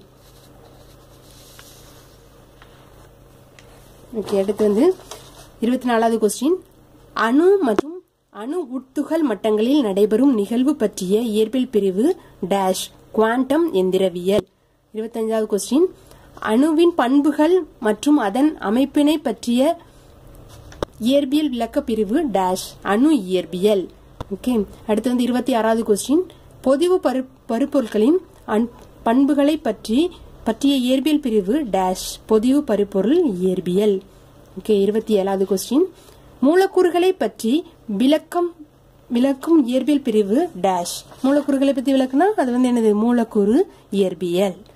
அடுத்து வந்து இருபத்தி எட்டு இருபத்தி எட்டாவது கொஸ்டின் துகள்களின் இயல்புகளை பற்றி விளக்கம் கூறும் இயற்பியல் பிரிவு டேஷ் துகள்களை பற்றி படிக்கக்கூடியதுன்னு பார்த்தோம்? உயர் ஆற்றல் இயற்பியல். ஓகே அடுத்து வந்து இருபத்தி ஒன்பதாவது கொஸ்டின் இயற்பியலின் இரு வகையான கண்டுபிடிப்புகள் டேஷ் மற்றும் டேஷ் தற்செயலான கண்டுபிடிப்புகள் மற்றும் உள்ளுணர்வு மூலம் கணித்தவற்றை ஆய்வகங்கள் மூலம் பகுப்பாய்வு செய்து கண்டறிதல். ஓகே அடுத்து வந்து முப்பது முப்பதாவது கொஸ்டின் ஆயிரத்தி தொள்ளாயிரத்தி ஐந்தில் ஆல்பர்ட் ஐன்ஸ்டீனால் கருத்தியல் ரீதியாக கண்டறியப்பட்ட மிக மிகவும் பிரபலமான சமன்பாடு டேஷ் ஐன்ஸ்டீனால இந்த சமன்பாடு எனது is equal to MC squared okay அடுத்து வந்து முப்பத்தி ஓராவது கொஸ்டின் ஆயிரத்தி தொள்ளாயிரத்தி முப்பத்தி ரெண்டில் டேஷ் மற்றும் டேஷ் அவர்களால் சோதனை மூலம் ஐன்ஸ்டீனின் கருத்து கருத்து நிரூபிக்கப்பட்டது. யார் நிரூபிச்சாங்க? காக்ராஃப்ட் மற்றும் வால்டன் இதில் வந்து இந்த ரெண்டு இயரை வந்து நல்லா தெரிஞ்சு வச்சுக்கோங்க. இந்த இயர் வந்து என்னன்னு கேட்கலாம். ஓகே ஐன்ஸ்டீன் வந்து கருத்தியல் ரீதியாக கண்டுபிடிக்கப்பட்ட மிக பிரபலமான சமன்பாடு எந்த எந்த வருடம் வந்து கண்டுபிடிச்சாங்கன்னு கேட்கலாம். ஆயிரத்தி தொள்ளாயிரத்தி ஐந்து. ஓகே அது- அதுக்கப்புறம் வந்து இதுல வந்து ஐன்ஸ்டீனோட கருத்து வந்து நிரூபிக்கப்பட்ட வரு- சோதனை மூலம் நிரூபிக்கப்பட்ட வருடம் வந்து எப்பொழுதுன்னு கேட்கலாம். ஆயிரத்தி தொள்ளாயிரத்தி முப்பத்தி ரெண்டு ஓகே அடுத்த கொஸ்டின் வந்து முப்பத்தி ரெண்டாவது கொஸ்டின் டேஷ் டேஷ் முக்கிய பயன்பாடுகளுக்கு தேவைப்படும் பொருத்தமான மூலப்பொருட்களை தேர்ந்தெடுக்க பயன்படுகின்றன. என்னெல்லாம்னா கோட்பாடு ரீதியான கணிப்புகளும் கணக்கீட்டு நடைமுறைகளும். ஓகே அடுத்து வந்து முப்பத்தி மூணாவது கொஸ்டின் மனித உடலுக்கு ஊறு விளைவிக்காத பொருட்களை கொண்டு மாற்று உறுப்புகள் தயாரிப்பதற்கு டேஸ் இயற்பியல் பயன்படுகிறது. குவாண்டம் இயற்பியல். ஓகே அடுத்து வந்து முப்பத்தி நாலாவது கொஸ்டின் எலக்ட்ரான் மற்றும் புரோட்டான்களை உள்ளடக்கிய மீச்சிறு அளவுகள் முதல் வானியல் அளவுகள் வானியல் நிகழ்வுகள் போன்ற மிகப்பெரிய அளவுகள் வரை டேஷ் எடுத்துரைக்கிறது. இயற்பியல் எடுத்துரைக்கிறது. ஓகே அடுத்து வந்து முப்பத்தைந்தாவது கொஸ்டின் கால அளவின் வீச்சில் வானியல் அளவு முதல் நுண்ணிய அளவு வரை டேஷ் ஓகே சுவானியல் அளவு முதல் நுண்ணிய அளவு வரை வந்து இந்த காலத்தில் வந்து எப்படி குறிக்கணும்? பத்தின் பவர் பதினெட்டு செகண்ட் டு பத்தின் பவர் மைனஸ் இருபத்தி ரெண்டு செகண்ட் ஓகே அடுத்து வந்து முப்பத்தி ஆறாவது கொஸ்டின் அளவிடக்கூடிய பிரபஞ்சத்தின் நிறை பத்தின் பவர் ஐம்பத்தைந்து கிலோகிராம். ஓகே பத்தின் பவர் ஐம்பத்தைந்து கிலோகிராம். அஞ்சு அஞ்சு. ஓகே ஞாபகம் வச்சுக்கோங்க. அடுத்து வந்து முப்பத்தி முப்பத்தி ஏழாவது கொஸ்டின் எலக்ட்ரானின் நிறை. எலக்ட்ரானின் நிறை வந்து என்னது? ஈ போட்டு ஞாபகம் வைக்கிறதுக்கு பார்த்தோம். அப்படிதானே? ஈ போட்டு அதை வந்து இப்படி இழுத்து என்ன செய்யலாம்? அடுத்து வந்து ஒன் ஒன் போட்டு டென் பவர் மூணு ஒன் இருக்கிறதுனால மைனஸ் மூணு ஒன் இருக்கிறதுனால த்ரீ ஒன் இதனோட சார்ஜ் வந்து என்னது? எலக்ட்ரானோட சார்ஜ் மைனஸ் அப்படின்னு சொல்லிட்டு ஞாபகம் வைக்கிறதுக்காண்டி பார்த்தோம்லாம் ஓகே ஸோ எலக்ட்ரானிக் நிறை என்னது? Nine point one one into ten power minus thirty one kilogram okay அடுத்து வந்து தொழில்நுட்பத்தில் முன்னேறி கொண்டிருக்கும் முன்- முன்னேறி கொண்டிருக்கும் இன்றைய உலகில் அனைத்து வகையான பொறியியல் மற்றும் தொழில்நுட்ப பாடப்பிரிவுகளுக்கு அடிப்படையாக விளங்குவது டேஷ் அடிப்படையாக விளங்குவது என்னது? இயற்பியல். ஓகே இதோட நம்மளோட ஒன் அழகு ஒன்றில் உள்ள ஒன் பாயிண்ட் டூ பிரிவு வந்து முடியுது. ஓகே. நெக்ஸ்ட் வீடியோவில் வந்து நம்ம வந்து அடுத்த ஒன் பாயிண்ட் த்ரீ பிரிவு வந்து